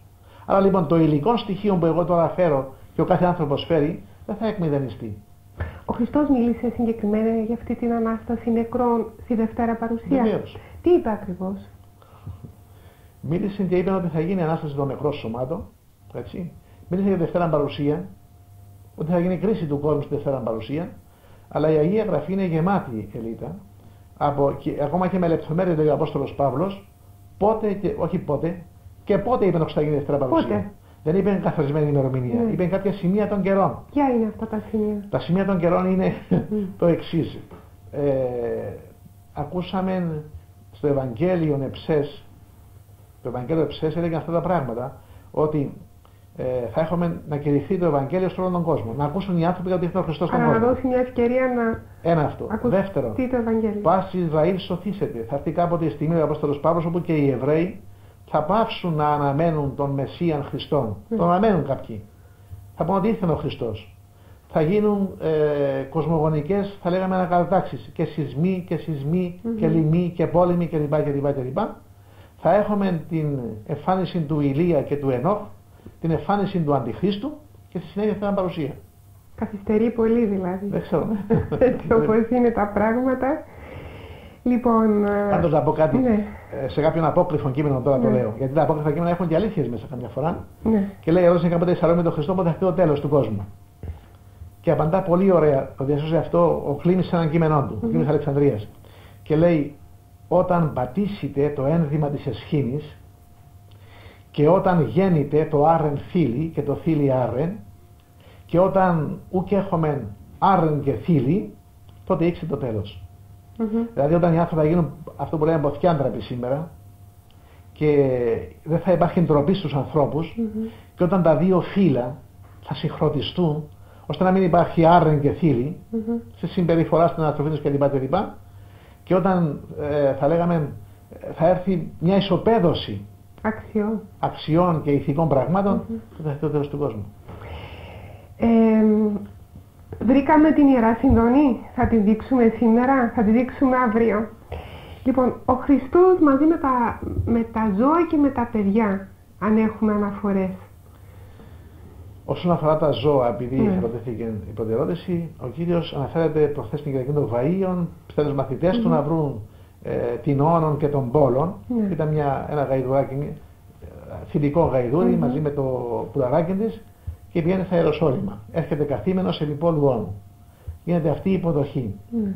Ε, τώρα, όσον αφορά τα παιδιά ο Χριστός, Ελίτα, ήταν πάρα πολύ καταδεχτικός Μμμ. ήταν πολύ προσινή στα παιδιά, αφού λέει ευρήκε μια φορά ένα μωρό, το επήρε και το καταφυλούσε. Όταν, όταν, όταν λέει, λέει το κείμενο καταφυλό σημαίνει φιλό πολλές φορές. Άλλες φορές πήραν το μωρό στην αγκαλιά του. Κάποτε του είπαν πώς θα μπούμε στη βασιλεία των ουρανών. Του δεν θα όπως τα παιδιά. Ναι. Και να πω κάτι ήταν πολύ συγκινητικό ότι ένα από τα παιδιά αυτά που πήρε στην αγκαλιά του ο Χριστός, λέγει η παράδοση, ήταν ο Άγιος Ιγνάτιος ο Θεοφόρος, Ναι. ο οποίος γίνεται επίσκοπος Αντιοχίας. Συλλαμβάνεται το 112 μετά Χριστό, επειδή είναι χριστιανός οδηγείται από τον Τραγιανό στη Ρώμη Ναι. και εκεί μαστηρεί με τα θηρία. Είναι ωραίο, Έχει γράψει και ωραίες επιστολές. Θα λέγατε, ναι, ολοκληρώστε. Να το λιώσω. Ναι. Τον έφαγαν τα θηρία τελικά. Ήταν αυτή η επιθυμία, τον να μαστηρήσει με τα θηρία. Και όταν τελικά πήγαν οι χριστιανοί να μαζέψουν τα, τα υπολείμματα από το σώμα του, έβγαλαν τα κόκκαρα του, κάποια mm και την καρδία του ανέπαφη. Μμμ. Λέει η παράδοση. Και απόρρεσαν πώς δεν έφαγαν αυτόν τον ωραίο μεζέν, τα ζώα. Έτσι. Ναι. Και τότε κατεπλάγησαν όταν είδαν τι, να γράφει πάνω το όνομα Χριστός. Απάνω στην καρδιά. Λέγεται Θεοφόρος. Και όταν πήγα πριν δύο χρόνια στην Αγία Παρασκευή στο μοναστήρι Mm. στις Σέρρες, εκεί, σε κάποιον, ήταν, ήταν ένα μαστρί που ήρθαν από τη Μικρασία οι άνθρωποι και το Μμμ. έφεραν τα, τους θησαυρούς. Εκεί μια μοναχή μου λέει κύριε Νικολαίδη, αυτή είναι κομμάτι από την καρδία του Αγίου Γνατίου του Θεοφόρου. Εγώ ήθελα να σας ρωτήσω κάτι άλλο. Αυτοί που αφέθηκαν να τους φάνε τα θηρία, Ναι. ήταν τελικά πιο θαραλέοι από τους Αποστόλους που κρύφθηκαν όταν συνέλαβαν τον Χριστό; Ασφαλώς. Ήταν πιο θαραλέοι; Αλλά μετά την Ανάσταση του Χριστού... η- Καλά, η- μετά ξεφοβήθηκαν. Να- Κι εγώ θα ξεφοβόμουν μετά. Ότι ήταν, λέει- Αλλά ολόκληρη Ήταν, Απόστολη. λέει, έγιναν Ναι. λέοντες πριν πνέοντες οι Ναι. Απόστολοι. Και πολλοί Απόστολοι μας τήρησαν, ίσως οι πιο πολλοί. Ε, μετά από αυτό που βλέπεις ε, α- αλίμονο να φοβάσαι, Είναι- είναι και η το χάρη του- ζεις, το είναι η χάρη του βιώνεις. Αγίου Πνεύματος που το λέει Μόνο, κάποιος. μόνο. Γι' αυτό Δηλαδή πως δίχως είναι την χάρη. χάρη του Αγίου Πνεύματος όλοι θα μείνουμε μικροί και ανθρώπινοι. Ε, ήταν επαναστάτης τελικά ο Χριστός. Εγώ, ε, εγώ τον βλέπω ως μεγάλο επαναστάτη. Ήταν. Μεγάλος. Με ποια έννοια όμως ο Αναστάτης. Με Και κάθε για να πάρει έννοια. όπλα, Ναι. ο Χριστός ε, Ελίτα Μμμ. ανέτρεψε τα κοινωνικά δεδομένα και Μάλιστα. τα ηθικά δεδομένα της εποχής του και όλων των Και εποχών. ήταν πολύ σφιχτά και στερεότυπα και συνωμένα πράγματα. Δεν Ελίτα, ήταν να σου πω ένα εύκολα. πράγμα μόνο για να ξέρεις. Ναι. Όταν διαβάσεις την νομοθεσία του Σόλωνος θα δεις ότι Μμμ. αυτοί οι σοφοί Αθηναίοι, οι δημοκρατικοί Αθηναίοι έλεγαν το εξής. Ότι ε, ο άντρας, μάλλον η γυναίκα είναι δούλη του ανδρός και τροφός των τέκνων του. Μμ. του, όχι της γυναικός. Όταν γεννιέται τον παιδί λέει ο Σόλωνας στην νομοθεσία του, τότε εξαρτάται από τον πατέρα θα ζήσει. Αν ο πατέρας το πιάσει τον νεογέννητον ή το κοιτάξει, Μμ. τότε εφίστη τη ζωής του. Άρα η γυναίκα δεν ήταν τίποτα, Τίποτα. τα χρόνια και του στη συνέχεια, Χριστού. Ανελίτα, Ναι. στη συνέχεια βλέπουμε ότι ο Χριστός πώς μιλάει για τα παιδιά.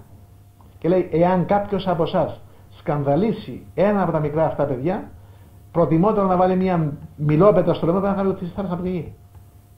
Δηλαδή το έγκλημα που διαπράττεις και λέει, αν τους σκανδαλίσετε, τα παιδιά αυτά τα μικρά, και τώρα μιλούμε για παιδεραστίες, αυτό και κάποτε σίγουρα Ναι. διαβάζω, και προχθές λέω, διάβαζε κάτι γυναίκα μου, λέω, μην μου διαβάζεις αυτό το πράγμα. Ναι. Ότι κάποιος εβίαζε ένα κοριτσάκι είναι 6 ετών. Ε, δεν το αντέχω. Λέει, οι άγγελοι των παιδιών αυτών θα είναι οι, κατή, είναι οι κατήγοροι στο Θεό. Αλίμονο. Φοβερό πράγμα τα παιδιά. Μάλιστα. Και όταν κάποτε πήγαν οι μανάτες με τα μωρά Μμμ. και φαίνεται έκαναν φασαρία τα μωρά και οι μαθητές είπαν φύγετε, μένει ενοχλείτε τον Κύριο, του λέει άφετε τα παιδιά. Να έχουν Μμ. Πότε θορυβήθηκε ο Χριστός; Ήταν κάτι που τον θορύβησε, ήταν κάτι που τον αναστάτωσε μέσα από τα Ευαγγέλια που Ναι, μία γνωρίζουμε. φορά στο, στο όρος των ελαιών τη μεγάλη, τη μεγάλη πέξη το βράδυ, όταν προσευχόταν. Ναι. Εγένετο ο υδρός αυτού, ο συθρόν διέματος του λαβαίνος επί τη γη. Γιατί και είπε τότε, ή δυνατόν παρελθεί το ποτήριο του απεμού. Το ποτήριο του μαστηρίου και του θανάτου. Η έννοια του θανάτου ελίτα ήταν εντελώς ασυμβίβαστη και ξένη στο πρόσωπο του Χριστού, γιατί αυτός είναι ο χορηγός της ζωής. Ναι. Πώς θα πεθάνει αυτός που δίνει τη ζωή; Παρ' όλα αυτά πέθανε. Παρ' αυτά πέθανε. Ως άνθρωπο λοιπόν δηλίασε ο Χριστός. Δηλίασε. Γι' αυτό λέει το Ευαγγέλιο ότι ε, όταν λέει ο υδρός αυτός η θρομβιέματος σημαίνει ότι ευγήκε από το σώμα του υδρότας ανανειγμένος με αίμα. Άρα ο θάνατος είναι επώδυνη υπόθεση. Βεβαίως είναι υπόδειγμα. Και φοβερό. Πότε είναι ανώδυνη, πότε γίνεται ανώδυνη, σύμφωνα με τη διδασκαλία του; Κατά τους πατέρες της Εκκλησίας ο θα- υπερβαίνει ο άνθρωπος το θάνατο Ελίτα, Ναι. όταν πιστέψει μέσα του ότι υπάρχει άλλη ζωή. Μμμ. Κάποτε πήγαινε ο Κατεδάκη να εξομολογηθεί στο Άγιον Όρος, λέει σε έναν Ναι. κείμενό του, και πήγε στον Αβά Μακάριο να εξομολογηθεί. Λέει του εφώναξα, πάτε Μακάρι στα καρδιά του Αγίου Όρου, σε μια σπηλιά.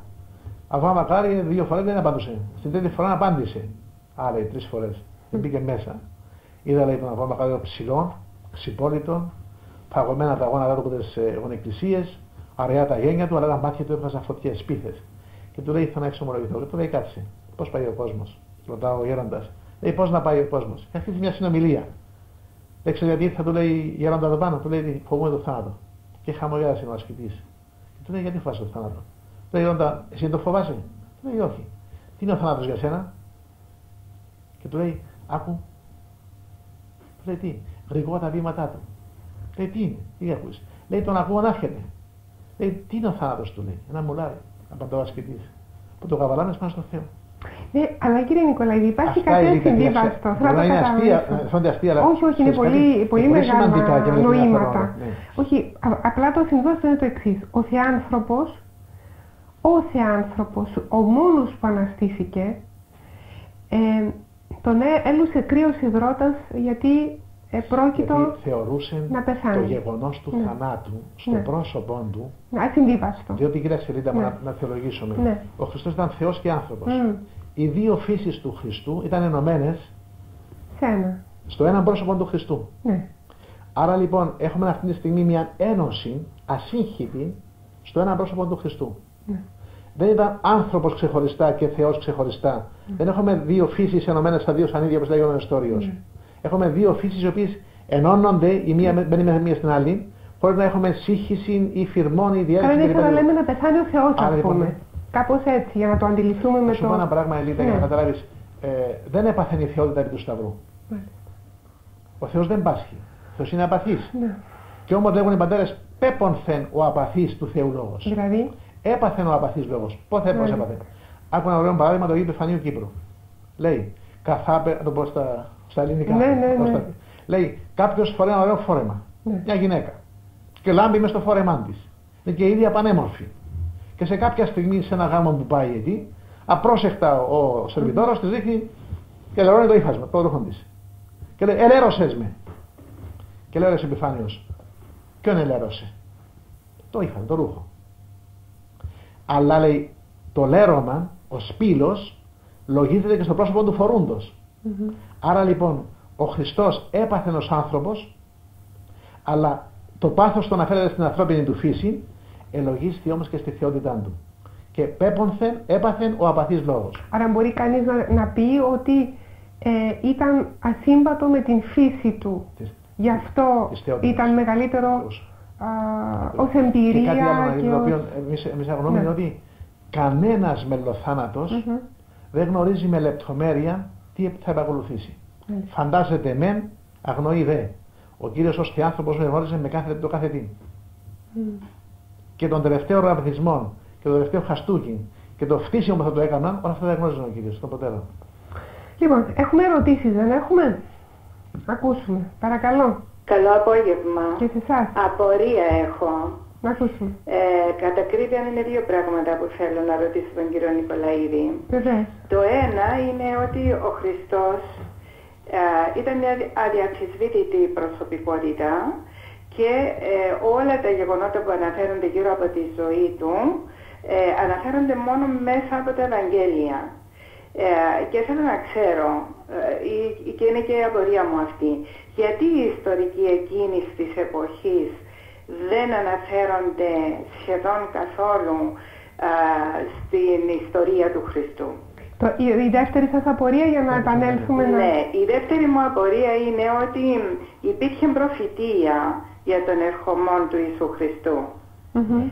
Στην προφητεία αυτή δεν γινόταν καθόλου αναφορά για το τέλος που θα είχε ο, ο Χριστός ερχόμενος ε, και εφόσον δεν θα κατάφερνε να πείσει τους αρχιερείς και τους φαρισαίους για το ότι ήταν ο Υιός του Θεού. Σας ευχαριστούμε Να πολύ. απαντήσω, Ναι. ε, ήταν βέβαια προσωπικότητα, μοναδική ο Κύριος, ε, ανεπανάληπτη θα έλεγα, όμως ε, ήταν και σημείο αντιλεγόμενο. Μμμ. Δηλαδή είχε και πολλούς εχθρούς ο Χριστός. Μμμ. Ε, Και φανατικούς και... Φανατισμένους πάρα πολύ. Βέβαια στο τέλος, στο τέλος τον εγκατέλειψαν όλοι. Μάλιστα. Είναι ποτέ δυνατόν Ελίτα αυτός όλος ο κόσμος της Ιερουσαλήμ που τον άκουσε τόσα χρόνια, Που τρία τον χρόνια, είδε, που... τον- πολλοί από αυτούς θα εδέχτηκαν οπωσδήποτε και τις Θεραπείες. συνεργασίες του. Ναι. Θα είχαν δικούς τους οι ίδιοι. Μάλιστα. Θα είχαν θεραπευτεί από τον ίδιο. Τον Και θα εγκατέλειψαν οι εγκατέλειψαν. πάντες. Ένα αυτό. Ναι, δεν υπάρχουν μαθητές. Και να πω και κάτι άλλο, Ελίτα, ξέρεις, ε, μπορεί να υπήρχαν κείμενα, τα οποία σήμερα εχάθηκαν. Αν σώζονται τα Ευαγγέλια, τα διέσωσε είναι η Εκκλησία αυτά τα πράγματα. Καταλάβατε; Mm. Όμως έχουμε κείμενα να πω το εξής Ελίτα, του 90 μετά Χριστό, Μμμ. τα οποία είναι έξω από τα Ευαγγέλια Μμμ. και τα οποία κείμενα αυτά αναφέρονται με πάσαν λεπτομέρεια για πολλά πράγματα που έχουν σχέση με τον Χριστό. Υπάρχει και μια άλλη μαστηρία, είναι πάνω στο γραφείο μου, τώρα δεν Ναι. θυμάμαι ποιος την έδωσε. Αν μπορεί η Αθηνά Ειρήνη να μας την φέρουν εδώ, ε, η οποία ε, μιλά και λέει για τον Πιλάτο. Δηλαδή ήταν κάποιος Ρωμαίος ιστορικός. Είπα αυτό ότι έγραψε και Ναι. γράμμα ο Πιλάτος και ανέφερε αυτό το πράγμα. Ναι. Ύστερα είναι ο Πλίνιος ο ιστορικός, να πω στην κυρία που ρωτούσε, Ναι. ο οποίος πράγματι είναι της εποχής του Χριστού και αναφέρει για τους χριστιανούς, πιστεύω σε Ναι. κάποιο Χριστόν, τον οποίο θεωρούν βασιλιάνους κλπ. Δηλαδή έχουμε και μαρτυρίες, Ελίτα. Της ύπαρξής του. Και το Τώρα. άλλο που ρώτησε η κυρία, Mm. εάν οι προφήτες ε, Προφήτευσαν. μίλησαν βεβαίως όχι Για μόνο το Ισαΐας, τέλος του. Ναι. που είπατε στην αρχή ότι Ναι. θεωρείται με αυτούς Ευαγγελιστής Ισαΐας, αλλά το 50 κεφάλαιο του Ισαΐα, 51, 52, 53 αυτά τα κεφάλαια, μιλούν συγκεκριμένα για τον Πάσχοντα Χριστόν. Όπως βέβαια και άλλες προφητείες, πάρα πολλές, μιλούν για τον ερχομό του Χριστού, για το έργο του Χριστού και το τέλος του Κυρίου. Ωραία. Άρα, τι είναι αυτό, είναι όλα γραμμένα; Είναι γραμμένα διότι Ναι. είπατε στην αρχή δεν θα συνέβαιναν αυτά τα πράγματα. Ναι. Δεν, δεν είναι γραμμένα και αυτά συμβαίνουν. Ναι, δηλαδή δεν μπορεί η διάνοιά μου να αντιληφθεί πόσο είμαστε ελεύθεροι να διαχειριστούμε τη ζωή μας, αφού τα πράγματα είναι εκεί, γραμμένα. Ελίτα, Ναι. ξέρεις κάτι; Ε, πολλές φορές αυτό που λες έρχεται σε σύγκρουση με το ερώτημα είναι ελεύθερος ο άνθρωπος; Εάν αναιρέσουμε τον παράγοντα ελευθερίας στο πρόσωπο του ανθρώπου Ναι.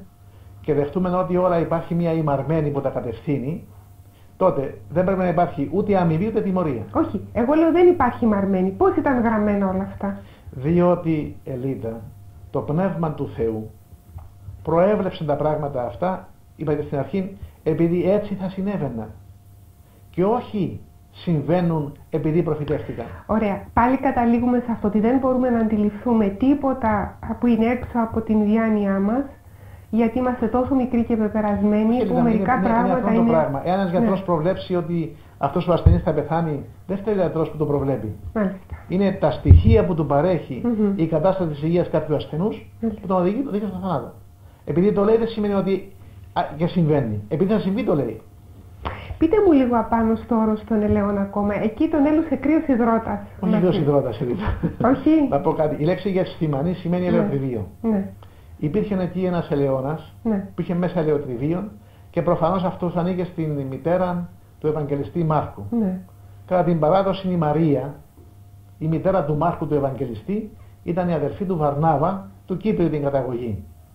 Και ο Κύριος τη Μεγάλη Εβδομάδα όλη έμενε στον κήπον αυτού πάνω, Μμμ. στον Ελαιώνα και προσευχόταν. Ο Ιούδας εγνώριζε που θα πάει ο Χριστός. Είναι και κορυφαία εκεί η ομιλία Είναι, του. ναι, ναι. Είναι... Ακριβώς. Όταν λοιπόν πήγαινε εκεί ο Κύριος στην Γεστημανή, επήρε τους τρεις μαθητές του και προχώρησε λίγο πιο πέρα και άρχισε να προσεύχεται. Και οι τρεις όμως και οι υπόλοιποι, 7, ε, συγγνώμη 8, αποκοιμήθηκαν. Μμμ. Όμως σε κάποια στιγμή οι μαθητές που του- από τους πάρει ο ύπνος, τον άκουσαν λοιπόν να προσεύχεται. Με φωνή δυνατή. Ναι. Κάποια στιγμές ήταν η προσευχή του σ- σιγανά, δεν Εθνική. ακουγόταν. Κάποιες όμως άλλες φορές ήταν δυνατή η προσευχή του Ναι. και την άκουσαν. Γι' αυτό και μας την δέσαν οι Ευαγγελιστές. Έλεγαν, Πάτερ ή δυνατόν παρελθύν το ποτήριον τούτο απ' εμού. Και λέει μάλιστα ένας Ευαγγελιστής ότι επαρουσιάστηκε και άγγελος ενισχύων αυτό. Μμμ. Για Σε να μια τον πολύ βοηθήσει. κρίσιμη στιγμή και κρίσιμη Μμ. ώρα. Μμ. Και γυρίζει πίσω ο Χριστός και τους βλέπει να κοιμούνται. Και τους λέει καθέβετε λοιπόν και αναπάπεστε. Γρηγορείτε και προσεύχεστε. Διότι ήδη ήταν μεσάνυχτα περίπου ήδη ήταν. Εντάξει σκέψου ότι προηγείται ο μυστικός δείπνος. Μμμ. Μμμ. Προηγείται το πλήσιμο των ποδιών των μαθητών. Μμμ. Προηγείται η αρχιερατική προσευχή και προηγείται οι νουθεσίες του Κυρίου. Τη Μεγάλη Πέμπτη, ιδίως του Ευαγγελιστή Ιωάννου, που μας διασώζει όλη την προσευχή και τις νουθεσίες του Χριστού μαθητές του, είναι πολύ συγκινητικά πράγματα. Εγώ τα ακούω έτσι πολλές φορές και με- πράγματι συγκινούμε και λέω ότι Πείτε- Πείτε μας ένα-δύο ας πράγματα πούμε που λέει, είπε. δεν Ναι. σας αφήκω ορφανούς, Ναι. ούτε άσο είμαστε ορφανούς. Ναι. Και δεν τους Πάρε άφησε. ελεύσεμε προς εμάς. Ναι. Να με πάρει κοντά σας. Ναι. Να με πάρει μαζί σας. Μην φοβάστε τίποτα παιδιά. Ναι. Ή λέει γέγραφτε πατάξτε τον πειμένα. Θα πάθετε απόψε όπως, τον, όπως, όπως τα πρόβατα που σκοτώνουν τον βοσκό. Θα σκορπιστείτε όλοι σας. Μμμ. Και λοιπά. Θα με εγκαταλείψετε όλοι απόψε. Ναι. Ή παρακάτω λέει ας πούμε είσαστε φίλοι μου. Τι ωραίο πράγμα αυτό. Εμ, Δεν σας λέω δούλους. Ναι. Και με συγκινεί πολύ η Ελίτα να πω το πλήσιμο των ποδιών των μαθητών. Αυτό είναι πάρα πολύ συγκινητικό. Και ταπεινή χειρονομία δεν θα Τους μπορούσε λέει, να όταν, είναι. τους, όταν του είπε τα πόδια, Ναι. ναι. είπε γινώσκετε την πεπή καημή. Ναι. Εμείς καλείτε με ο Κύριος και ο διδάσκαλος. Δημοτικά. Καταλάβατε Ναι. τι σας έκαμα. Δημοτική. Λέτε κύριε, κύριε δάσκαλο, δάσκαλο, η μίγα. Αλλά εάν εγώ έπαιρνα τα πόδια σας, ο Κύριος Ναι. και ο διδάσκαλος και εμείς οφείλετε αλλήλων νύπτην τους σπόδας. Ελίδα, ξέρεις πόσα προβλήματα θα έλειπαν από την προσωπική, την οικογενειακή, την Mm. επαγγελματική, κοινωνική των, των ανθρώπων, εάν οι άνθρωποι έμαζαν να είναι διάκονοι του άλλου. Το ένα εκατοστό της, ταπεινο... της Τι σημαίνει να ταπεινότητας δείξεις του μεγαλύτερου από ταπείνωση στον εμάς. άλλο. Ναι. Επίσης στον άλλο. Μεγάλη υπόθεση. Δηλαδή ο άνθρωπος να ταπεινωθεί και να πει ότι στη γυναίκα του να πει Ναι. έκανα λάθος, ζητώ Ναι. συγγνώμη. Να πει η γυναίκα στον άντρα έκανα λάθος. Ή να υπηρετήσει ο άντρας τη γυναίκα. Ε, όταν λέμε αναλήφθηκε, ε, τους είπε κάτι, τους είπε πού θα πάει, τους είπε τι θα Συγγνώμη. κάνει, από εκεί και Τους πέρα. εμάζεψε όλους Ναι. ναι. των ελαιών και όπως τους μιλούσε άρχισαν να λένε προς τον ουρανό. Μμμ. Και αυτοί αισθάνθηκαν και κοίταζαν λέει εννοεί κατάπληκτη. Κάποιοι Μμμ. έσπιζαν το προσκύνησα. Είναι πολύ συγκινητικό. Ναι. Και ήρθαν οι άγγελοι λένε άντρες Γαλιλαίοι τι αισθήκατε βλέποντας τον Αντίβρεδε. Αυτός ο Ιησούς που αναλαμβάνεται στους αιώνες τώρα θα έρθει με τον ίδιο τρόπο στην Δευτέρα παρουσία. Μμ. Το ξαναδείτε. Αλλά δεν ξέρουμε Πότε θα έρθει. που, ε- ούτε πότε θα έρθει, ούτε που είναι αυτό το σημείο, α, σε ποια διάσταση, σε ποια συχνότητα. Κλείτα, στη Ναι. Δευτέρα παρουσία Ναι. δεν υπάρχει διάσταση χρόνου και χώρου. Όχι, που βρίσκεται, που έφυγε να Λέω, πάει. Δεν το τους σώμα- έδωσε στοιχεία. Λέει, λέει η Αγία Γραφή Ναι. ότι εκάθισε στα δεξιά του Θεού και Πατρός. Μμμ. Μην φανταστούμε όμως κάποιο θρόνο με ένα μεγαλοπρεπή βασιλιά που είναι ο Θεός Πατέρας και κάτι δεξιά του ο Χριστός. Ανθρωπάκο, ας πούμε. Αυτά, είναι, αυτά τα πράγματα είναι Ναι, ανθρωπομορφικά. μάλιστα. Χρόνος, Ελίτα. Μμμ. Και χώρος στη Δευτέρα παρουσία δεν υπάρχουν. Εκείνος δεν μίλησε όμως, δεν είπε πού πάει ή τι πάει να κάνει. Απλά είπε, α, απα- αποχώρησε. Αλλά τους είπε φεύγω μένα αλλά θα είμαι μαζί σας. Ναι. Δώστε μας τα τηλέφωνα που περιμένουμε. Παρακαλώ. Ναι, άλλο. Σας ακούμε. Ναι, έχει χαρακτήρα την εκπομπή σας. Ευχαριστούμε. Θέλω να ρωτήσω τον κύριο Νικολαίδη. Η γέννηση του Χριστού ε, λέει μας η Αγία Γραφή ότι μέχρι τα 12 ξέρουμε. Που τα 12 ως τα 33 πως τα δόθηκε. Πού επίε, τι έκαμε, Τι, ξέρουμε. τι ώρα να ψωθεί συντονιστήκατε με το πρόγραμμα μας; Ε, εσύ πέρα αυτά περίπου. Ωραία, λοιπόν, ήταν Είχαμε ίσως να από τις απαντήσει, αλλά να πρώτες απαντήσω στον κύριο. ερωτήσεις. Δεν έχουμε Ναι. καμία πληροφορία ο Χριστός τα υπόλοιπα χρόνια μέχρι τα 30 του περίπου. Μμμ. Είναι, λέμε περίπου 33, 33 χρόνια ο Χριστός σταυρώθηκε. Πού ήταν; Ναι. Λέει όμως το κείμενο ότι παρέμεινε, ήταν υποτασσόμενος στον Ιωσήφ και στην Μαρία. Ο Ιωσήφ σύντομα πεθαίνει διότι σε κάποια στιγμή βλέπουμε ότι μένει μόνο η Παναγία και δεν μετέβη πουθενά. Εάν δεν υπάρχει σκέψη σε κάποιους ή η αντίληψη ότι πήγαινε κάπου να σπουδάσει κλπ. κλπ.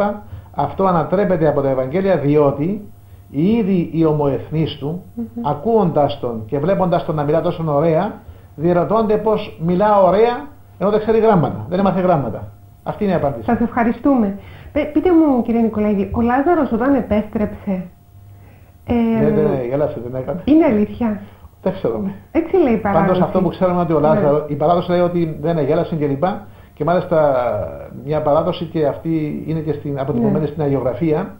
Ο Λάζαρος απεικονίζεται αγένιος. Τι θέλει να μας πει α, α, α, αυτό; Λένε, δε- λένε κάποιοι Ναι. δε φρικτά πράγματα εκεί που πήγαινε και δεν μπορεί να τα πει κλπ. Αυτό είναι λάθος σελίδα. Ναι. Μετά την Ανάσταση του, όχι μόνο ο Λάζαρος, Ναι. όπως και η κόρη ε, του Ιαΐρου, όπως και ο, ο γιος της χείρας της Ναΐν. Μμμ. Είναι τρεις Αναστάσεις που έχουμε. Όπως επίσης ε, Ρίτα, έχουμε και Ανάσταση που έκαμε ο Πέτρος, Μμμ. της Ταβιθάν. Ο Απόστολος Πάπης έκαμε Ανάσταση. Ναι. Δεν έχουμε καμία πληροφορία από τους ανθρώπους αυτούς τι είδαν, πού πήγαν, τι άκουσαν, πώς έζησαν κλπ. Φαίνεται, επανερχόμενοι στη ζωή, σε αυτούς σημειώνεται μια, ας το πούμε, μια κατάσταση αμνησίας Το μεγαλύτερο θαύμα του. του Χριστού. Ναι, κατά την άποψή σας. Τι να πω τώρα, ποιον από τα Α- θαύματα από να τα πω; συγκεκριμένα θαύματα, μην μου απαντήσετε η ύπαρξή του, δηλαδή τα Όχι, όχι, συγκεκριμένα όχι. θαύματα. που Από τα ξέρουμε. συγκεκριμένα θαύματα που έκαμε ο Κύριος. Ναι. Ποιον; Ε, η Ανάσταση του Λάζαρου είναι κορυφαία. Τα- Οι Αναστάσεις των Ναι. νεκρών, των νεκρών είναι βέβαια... Ναι. Ναι. Επίσης, οι ίδιοι οι Εβραίοι είπαν ότι όταν θεράπευσε τον εγγενετή τυφλών που δεν είχε καν βολβούς στα μάτια. Δεν είχε καν βολβούς. Όχι. Και είπαν εκ το αιώνος ούκη γούστη. Μάλιστα. Όταν το έβαλε, όταν έπιασε χαμένη και έφτιαξε- έφτιαξε εμπειρών, το βάλε στα μάτια. Και του λέει Μμμ. πήγαινε στην κολυμπήθα του Σιλοάν να ανοιχτείς. Του έφτιαξε δηλαδή μάτια από την αρχή Το μέσα έβαλε από βολβούς χώμα. εκείνη τη στιγμή, ναι. Αυτό Μάλιστα. δεν έβαλε στην εκκλησία. Αυτό είναι μεγάλο θαύμα που έγινε. Ε, λέχθηκε σε ένα από τα προγράμματα εδώ, όχι ε, ε, με την παρουσία σας, με άλλων ανθρώπων, ότι έλεγε πάντα ο Χριστός η πίστη σου έσωσε, η πίστη σου έσωσε.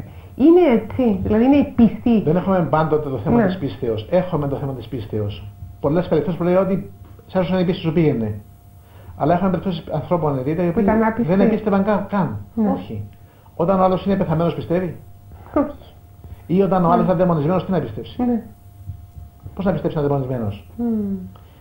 Ή ακόμα έχουμε περιπτώσεις που πηγαίνει η μητέρα, παρακαλεί τον Χριστό και του λέει κύριε η σιροφήνη σαν γυναίκα. Είναι το λάδι σαν γυναίκα. Επήγε στην περιοχή της Τύρου, έξω από τα ωραία της Παλαιστίνης. Μμ. Και του λέει κύριε φωνάζει η θυγάτη μου κακώς δαιμονίζεται. Δεν έχει σημασία ο Χριστός. Φωνάζει, του λέει μαθητές του κύριε διώξτε την και πελάνε μας. Και λέει ο Χριστός, δεν είναι ωραίο πράγμα να πάρω το ψωμί των παιδιών να πάρω στους σκύλους. Τελικά εγώ να λύνει μπροστά του και του φάσει τον δρόμο και του λέει κύριε, με απεκάλεσε σκύλος σου. Δέχομαι. Και ο σκύλος έχει το μερίδιο του, mm. των κυριών του. Εντάξει. Και λέει, Ω γίνε μεγάλη σου η πίστη, ας γίνει όπως θέλεις. Και απαντά το Ευαγγέλιο. Και η άθη, η θηγάτηρα αυτής, πού ήταν η κόρη τη. Ποια πίστη ήταν η κόρη τη. Ελίτα πολλές φορές, πολλές φορές, η πίστη των άλλων σώζει τον άνθρωπο. Και γράφω αυτές τις μέρες ένα ωραίο πράγμα. Θα μια εκπομπή. Τα μνημόσυνα που κάνουμε, οι λειτουργίες που κάνουμε, οι προσφορές που κάνουμε, βοηθούν τους νεκρούς. Ένα ερώτημα που κάνετε πολλές φορές. Mm -hmm. Και γράφω τώρα ένα ωραίο κείμενο, μικρό βιβλιαράκι, μέσα από τις από τις ε, ειδήσεις των πατέρων και της Αγίας Γραφής πόσον και πώς και πού και ποιους αφαιρούν τα μνημόσυνα που κάναμε. Πολύ σημαντικό. Μας έχει πει κάτι άλλο ο Χριστός για, την, ε, για το πού πάμε και πώς συνεχίζουμε με τα θάνατο. Έχει νικήσει τον Άδη. Αυτό το ναι. ξέρουμε. Η παρουσία του στη γη, η σταύρωσή του, η Ανάστασή του έχει νικήσει τον Άδη. Είναι κάτι πολύ ωραίο ναι. ο Χριστός, Ελίτα. Ο Θεός είναι Θεός ζώντων και όχι ναι. Θεός νεκρών. Άρα όλοι είναι ζωντανοί. Ελίτα μου άκουσε κάτι. Ναι. Ο θάνατος για τον Θεό και για την Εκκλησία δεν υπάρχει. Αφόσον ο θάνατος είναι σχηματικός. Ναι. Λέει ο Απόστολος Παύλος, εάν δεν ζώμεν, εάν δεν αποθνίσκουμε του Κυρίου εσμέν. Mm -hmm. Που σημαίνει τι; Ο άνθρωπος, όταν είναι μέρος της Εκκλησίας, έστω και αν πεθάνει, δεν διαγράφεται από μέρος της Εκκλησίας. Ο ίδιος έχει συνείδηση Είμαστε, και συνεχίζει. Ελίδα, να σου πω κάτι που λέει η Γραφή. Οι ζωντανοί είναι πιο νεκροί από τους νεκρούς. Είναι τον πανάποδα. Είναι πιο ζωντανοί και κοιμημένοι από τους, από τους ζωντανούς. Μ' αρέσει αυτό που λέτε. Δηλαδή, ναι. αυτοί που έχουν πεθάνει αυτή τη στιγμή, λέει ο Απόστολος Παύλος, mm. στη Δευτέρα παρουσία, όταν θα ακουστεί η Σάλπιγγα, η Αρχαγγελική, mm -hmm. ένας ήχος σαν Αρχαγγελική Σάλπιγγας, mm -hmm. τότε ξέχασα να πω προηγουμένως, έγραφα ένα κείμενο μια ημέρα και βρήκα σε ένα κείμενο το 90 μετά Χριστόν, διαχεί των Αποστόλων λέγεται αυτό το πράγμα, και λέει ότι στη Δευτέρα παρουσία θα, θα έχουμε το σημείο εκπετάσεω. Έφα. Λέω τι, τι σημαίνει αυτό; σημείο εκπετάσεω. Στον ουρανό. Ένα σημάδι που να είναι ας πούμε σαν πετούμενο στον ουρανό. Mm -hmm. Τι είναι; Και βρίσκω στο δαμασκηνό, τον μεγάλο αυτό θεολόγο της Εκκλησίας mm -hmm. μας, να ερμηνεύει λέει ότι το σημείο εκπετάσεως, όταν θα έρθει ο Χριστός στον κόσμο, πρωτού έρθει ο Χριστός και πρωτού ακουστεί το σημείο mm -hmm. της, της, άσπιγκας, θα παρουσιαστεί ο Σταυρός και θα διασχίσει όλον τον ορίζοντα. Κύριε Νικολαίδη. Λοιπόν, να απαντήσουμε ναι. Θα ακούσουν την φωνή της Σάλπιγκος για την, για, την, για την χρόνο του Χριστού mm. πρώτα και γυμμένη. Άρα κακώς τους λέμε και Και εμείς θα ζούμε ελίτα, θα δούμε ναι. τότε εκεί, όσοι θα ζουν τότε, ο Απόστολος Παύλος, θα δουν όλους τους νεκρούς να βγαίνουν προς τα πάνω και να λέμε τι συμβαίνει; Έπειτα οι ζώντες θα ακούσουν τη φωνή αυτή. Mm. Άρα λοιπόν, όσοι έχουν πεθάνει. Δεν είναι και κοιμημένοι όμως. Και γρο... λέμε ότι. Λέμε, τους λέμε στα δικά μας μέτρα το πράγμα. Ναι. Εκείνοι είναι ζωντανοί Ακριβώς. και ακούν και, και βλέπουν και επικοινωνούν ναι. και αισθάνονται και τα πάντα. Μάλιστα. Και γνωρίζονται μεταξύ τους. Κύριε Νικολαίδη, είναι ο Παύλος που έχτισε την Εκκλησία; Όχι μόνο ο Παύλος. Όχι Ελίτα. Κυρίως ο Παύλος. Ο Παύλος είναι αυτός ο οποίος ε, επερπάτησε Ελίτα πάνω από 36.000 χιλιόμετρα mm -hmm. με τα πόδια για να κηρύξει το Ευαγγέλιο. Ο, ο Χριστός ήταν αυτό που ήθελε; Δηλαδή θα λέγατε θεολογικά ότι ήταν το θέλημά του; Ποιος, ο Παύλος; Ε, ναι, να συνεχίσει ο Παύλος με τον τρόπο που συνέχισε. Δεν κάτι; Ναι. Ο Παύλος λέγεται Απόστολος των Εθνών. Ναι. Και οι άλλοι Απόστολοι εκήρυξαν. Mm -hmm. Απλά διασώζεται στην καινή διαθήκη, στις πράξεις των Αποστόλων, ε, κυρίως το έργο του Πέτρου και του Παύλου. Mm. Και σώζονται οι επιστολές του Αποστόλου Παύλου. Αλλά με κορυφαία της, αυτή της αγάπης προς Κορινθίους. Δηλαδή θα έπρεπε να ήταν Ευαγγέλιο στο σπίτι του κάθε να, πω, να πω έτσι την ναι. αλήθεια. Ότι ναι, ναι. όντως ο Απόστολος εκοπίασε πάνω από όλους τους Αποστόλους. Ναι. Λοιπόν, έχουμε ερωτήσεις. Να σας πω αυτό που βρήκα το πρωί, μπορεί να είναι και λάθος, δεν ξέρω, θα μας πείτε εσείς. Η πιο συνασπαστική λέει, αναφορά είναι του Φλάβιου Ιωσήφ, ενός ιστορικού που έγραψε μετά την Εβραϊκή Επανάσταση. Και αυτός αναφέρει τον φόνο του Ιακώβου του δικαίου, καθώς επίσης ότι ο Ιάκωβος ήταν αδελφός του, του Ιησού Χριστού, όπως είπατε από πλευράς πατέρα, ε, και τον αναφέρει ότι ο Χριστός ήταν ε, ο αδελφός του Ια, Ιακώβου. Αλλά από μόνος, ναι, αυτό.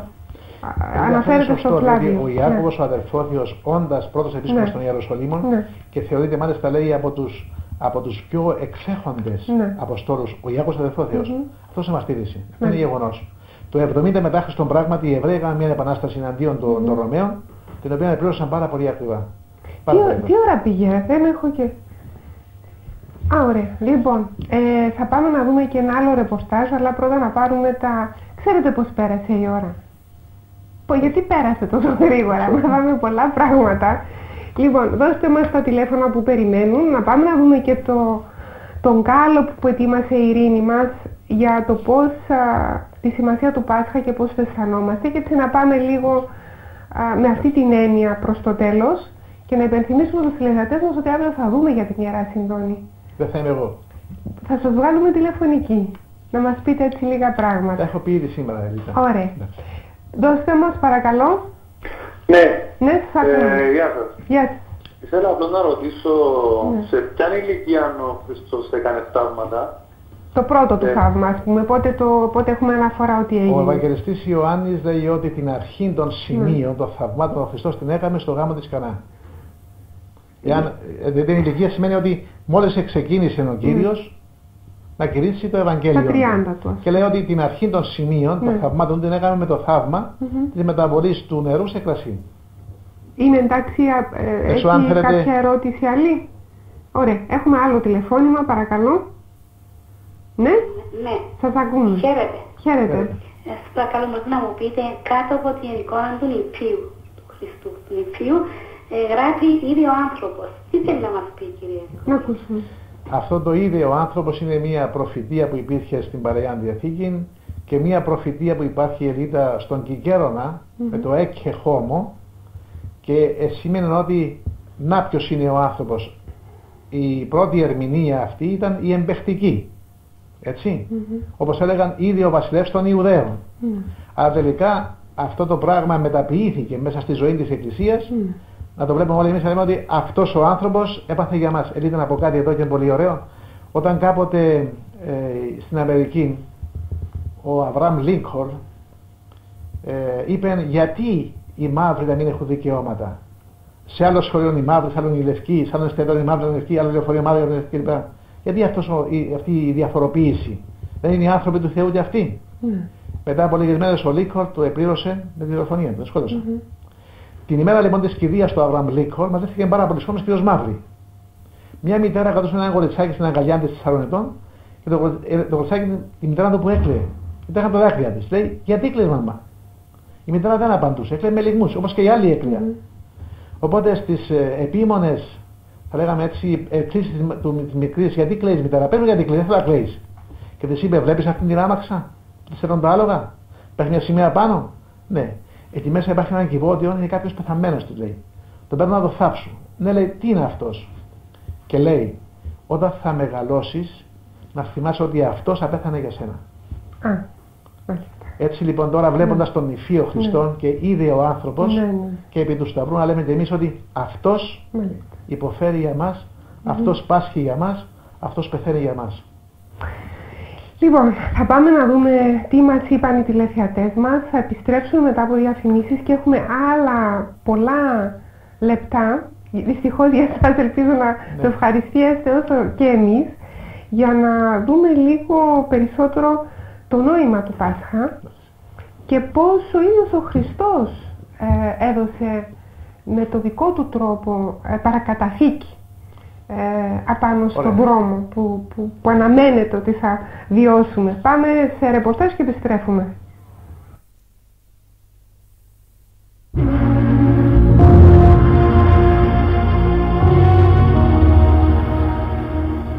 Έχουμε μπει αισίως στην Μεγάλη Εβδομάδα, την Εβδομάδα των Παθών του Κυρίου και λίγες μόνο μέρες μας χωρίζουν πριν από το χαρμόσυνο μήνυμα της Ανάστασης. Πώς μπορούμε να προετοιμαστούμε καλύτερα ώστε να υποδεχτούμε το Πάσχα στην ψυχή μας; Να σας πω, να είμαστε ειλικρινείς, εμείς οι πρόσφυγες, όταν έρχεται το Πάσχα, είμαστε πάντοτε λυπημένοι, γιατί λείπουμε από τα σπίτια μας. Θέλουμε να κάνουμε Πάσχα στα σκλαβωμένα σχολιά. Από πού είσαστε; Είμαι από την επαρχία Γκρίνια, από το Διόριος, το ωραίο Διόριος. Μάλιστα, πώς θα περνούσατε τότε; Ε, τότε ήταν διαφορετικά πολύ. Μύριζε το χωριό όλο, όλοι οι γειτόνοι, όλοι οι χωριανοί, όλοι οι συγγενείς. Τώρα κάθομαι στο συγκεκριμένο μακάριο και είμαι, είμαστε δύο συντοπίτες. για τις κερίνες. Είναι άσχημα, αλλά θα περάσουν. Πρέπει να προσπαθήσουμε να καθαρίσουμε εμείς, σαν άνθρωποι, να δεχτούμε τους υπόλοιπους με αγάπη και να δεχτούμε τον Θεό μέσα μας. Μόνο με εξομολόγηση είναι νηστεία, τίποτα άλλο. Με όλη μας την αγάπη σε όλον τον κόσμο και με καλή ελευθερία και καλή εμπρόοδο στο Κυπριακό. Αγάπη σε όλους. Ήταν μια πολύ καλή θρησκευτική γιορτή. Είναι η μεγαλύτερη γιορτή για μας, τους Ορθόδοξους, τους Χριστιανούς. Μάλιστα. Ε, τι κάνετε, πηγαίνετε εκκλησία, εξομολογήσετε, κοινωνάτε. Ε, όχι πάντα. Αλλά το Πάσχα το χαίρομαι ιδιαίτερα. Αγάπη είναι αλληλεγγύη στον συνάνθρωπο. Αυτά. Δεν είναι το Πάσχα που κάνουμε μπάντια με τους γονείς μας. Δυστυχώς ξεπεραστήκαν όλα αυτά. Είναι, νομίζω ότι είναι μια συνηθισμένη μέρα. Μια Κυριακή όπως τις άλλες. Παλιά τι έγινε; Εγώ δεν νηστεύω. Νηστεύω την τελευταία εβδομάδα. Να είμαι ειλικρινής. Μόνο. Και πάω στο χωριό μου το Πασχά. Είναι η μόνη εποχή που πάω στο χωριό μου. Στο Πελέντε. Με συναισθήματα χαράς. Ε, επειδή δεν θα εργαζόμαστε, θα έχουμε ευκαιρία να δούμε τους συγγενείς μας. Με χαρά τον υποδεχόμαστε. Ναι. Τούτο που έχει λίγο η οικονομία τώρα η Κύπρος και θα υποφέρουν. Πολλοί που να μην κάνουν Πάσχα. Σωστά; Πιστεύετε ότι υπάρχει κόσμος που θα κάνει Πάσχα. Βέβαια. Φτωχός κόσμος είπα. Αν έχει φτωχόν κόσμο. Υπάρχει. Ε, ήσασταν από κάποιο χωριό. Από το Ριζοκάρπασο, να πω στον Ανδρέα. Πείτε μου λίγο, πώς ήταν εκείνα τα χρόνια το Τα Πάσχα; χρόνια αφού έκοψα εγκλωβισμένα χρόνια υποφέραμε από τους Τούρκους. Βεβαιότατα. Hello. Εσύ να μας δηλαδή. Θέλω να μάθω τι, τι ήταν τα έθιμα του χωριού τότε, τι, τι έκανατε το Πάσχα. Κάμναμε ένα φλαγόνι όπως κάνουμε εδώ.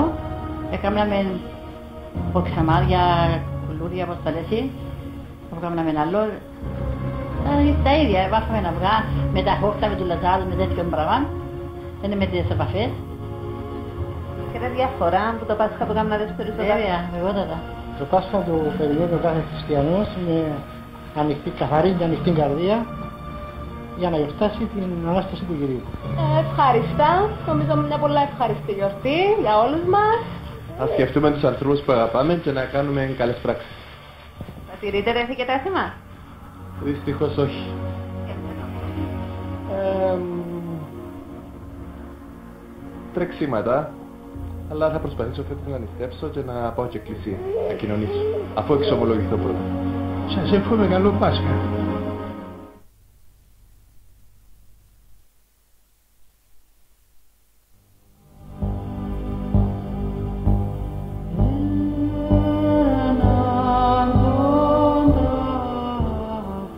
Λοιπόν, επειδή έγινε ένα μικρό λάθος από μέρους μου σχετικά με τη διάρκεια της εκπομπής, κύριε Νικολαίδη, πολύ έτσι συνοπτικά, αυτό που, που είναι σημαντικό να κρατήσουμε για το μήνυμα. Ελίτα να πω, του άκουσα το Πάσχα. ρεπορτάζ και συγκινήθηκα από κάποιους ανθρώπους Ναι. και να πω ναι, έχουν απόλυτον δίκιο. Αν κάποιος περιοριστεί ή αφαιθεί να γιορτάσει εξωτερικά το Πάσχα, δεν θα καταλάβει τίποτα απολύτως. Το Πάσχα είναι προσωπική υπόθεση του καθενός. Μμμ.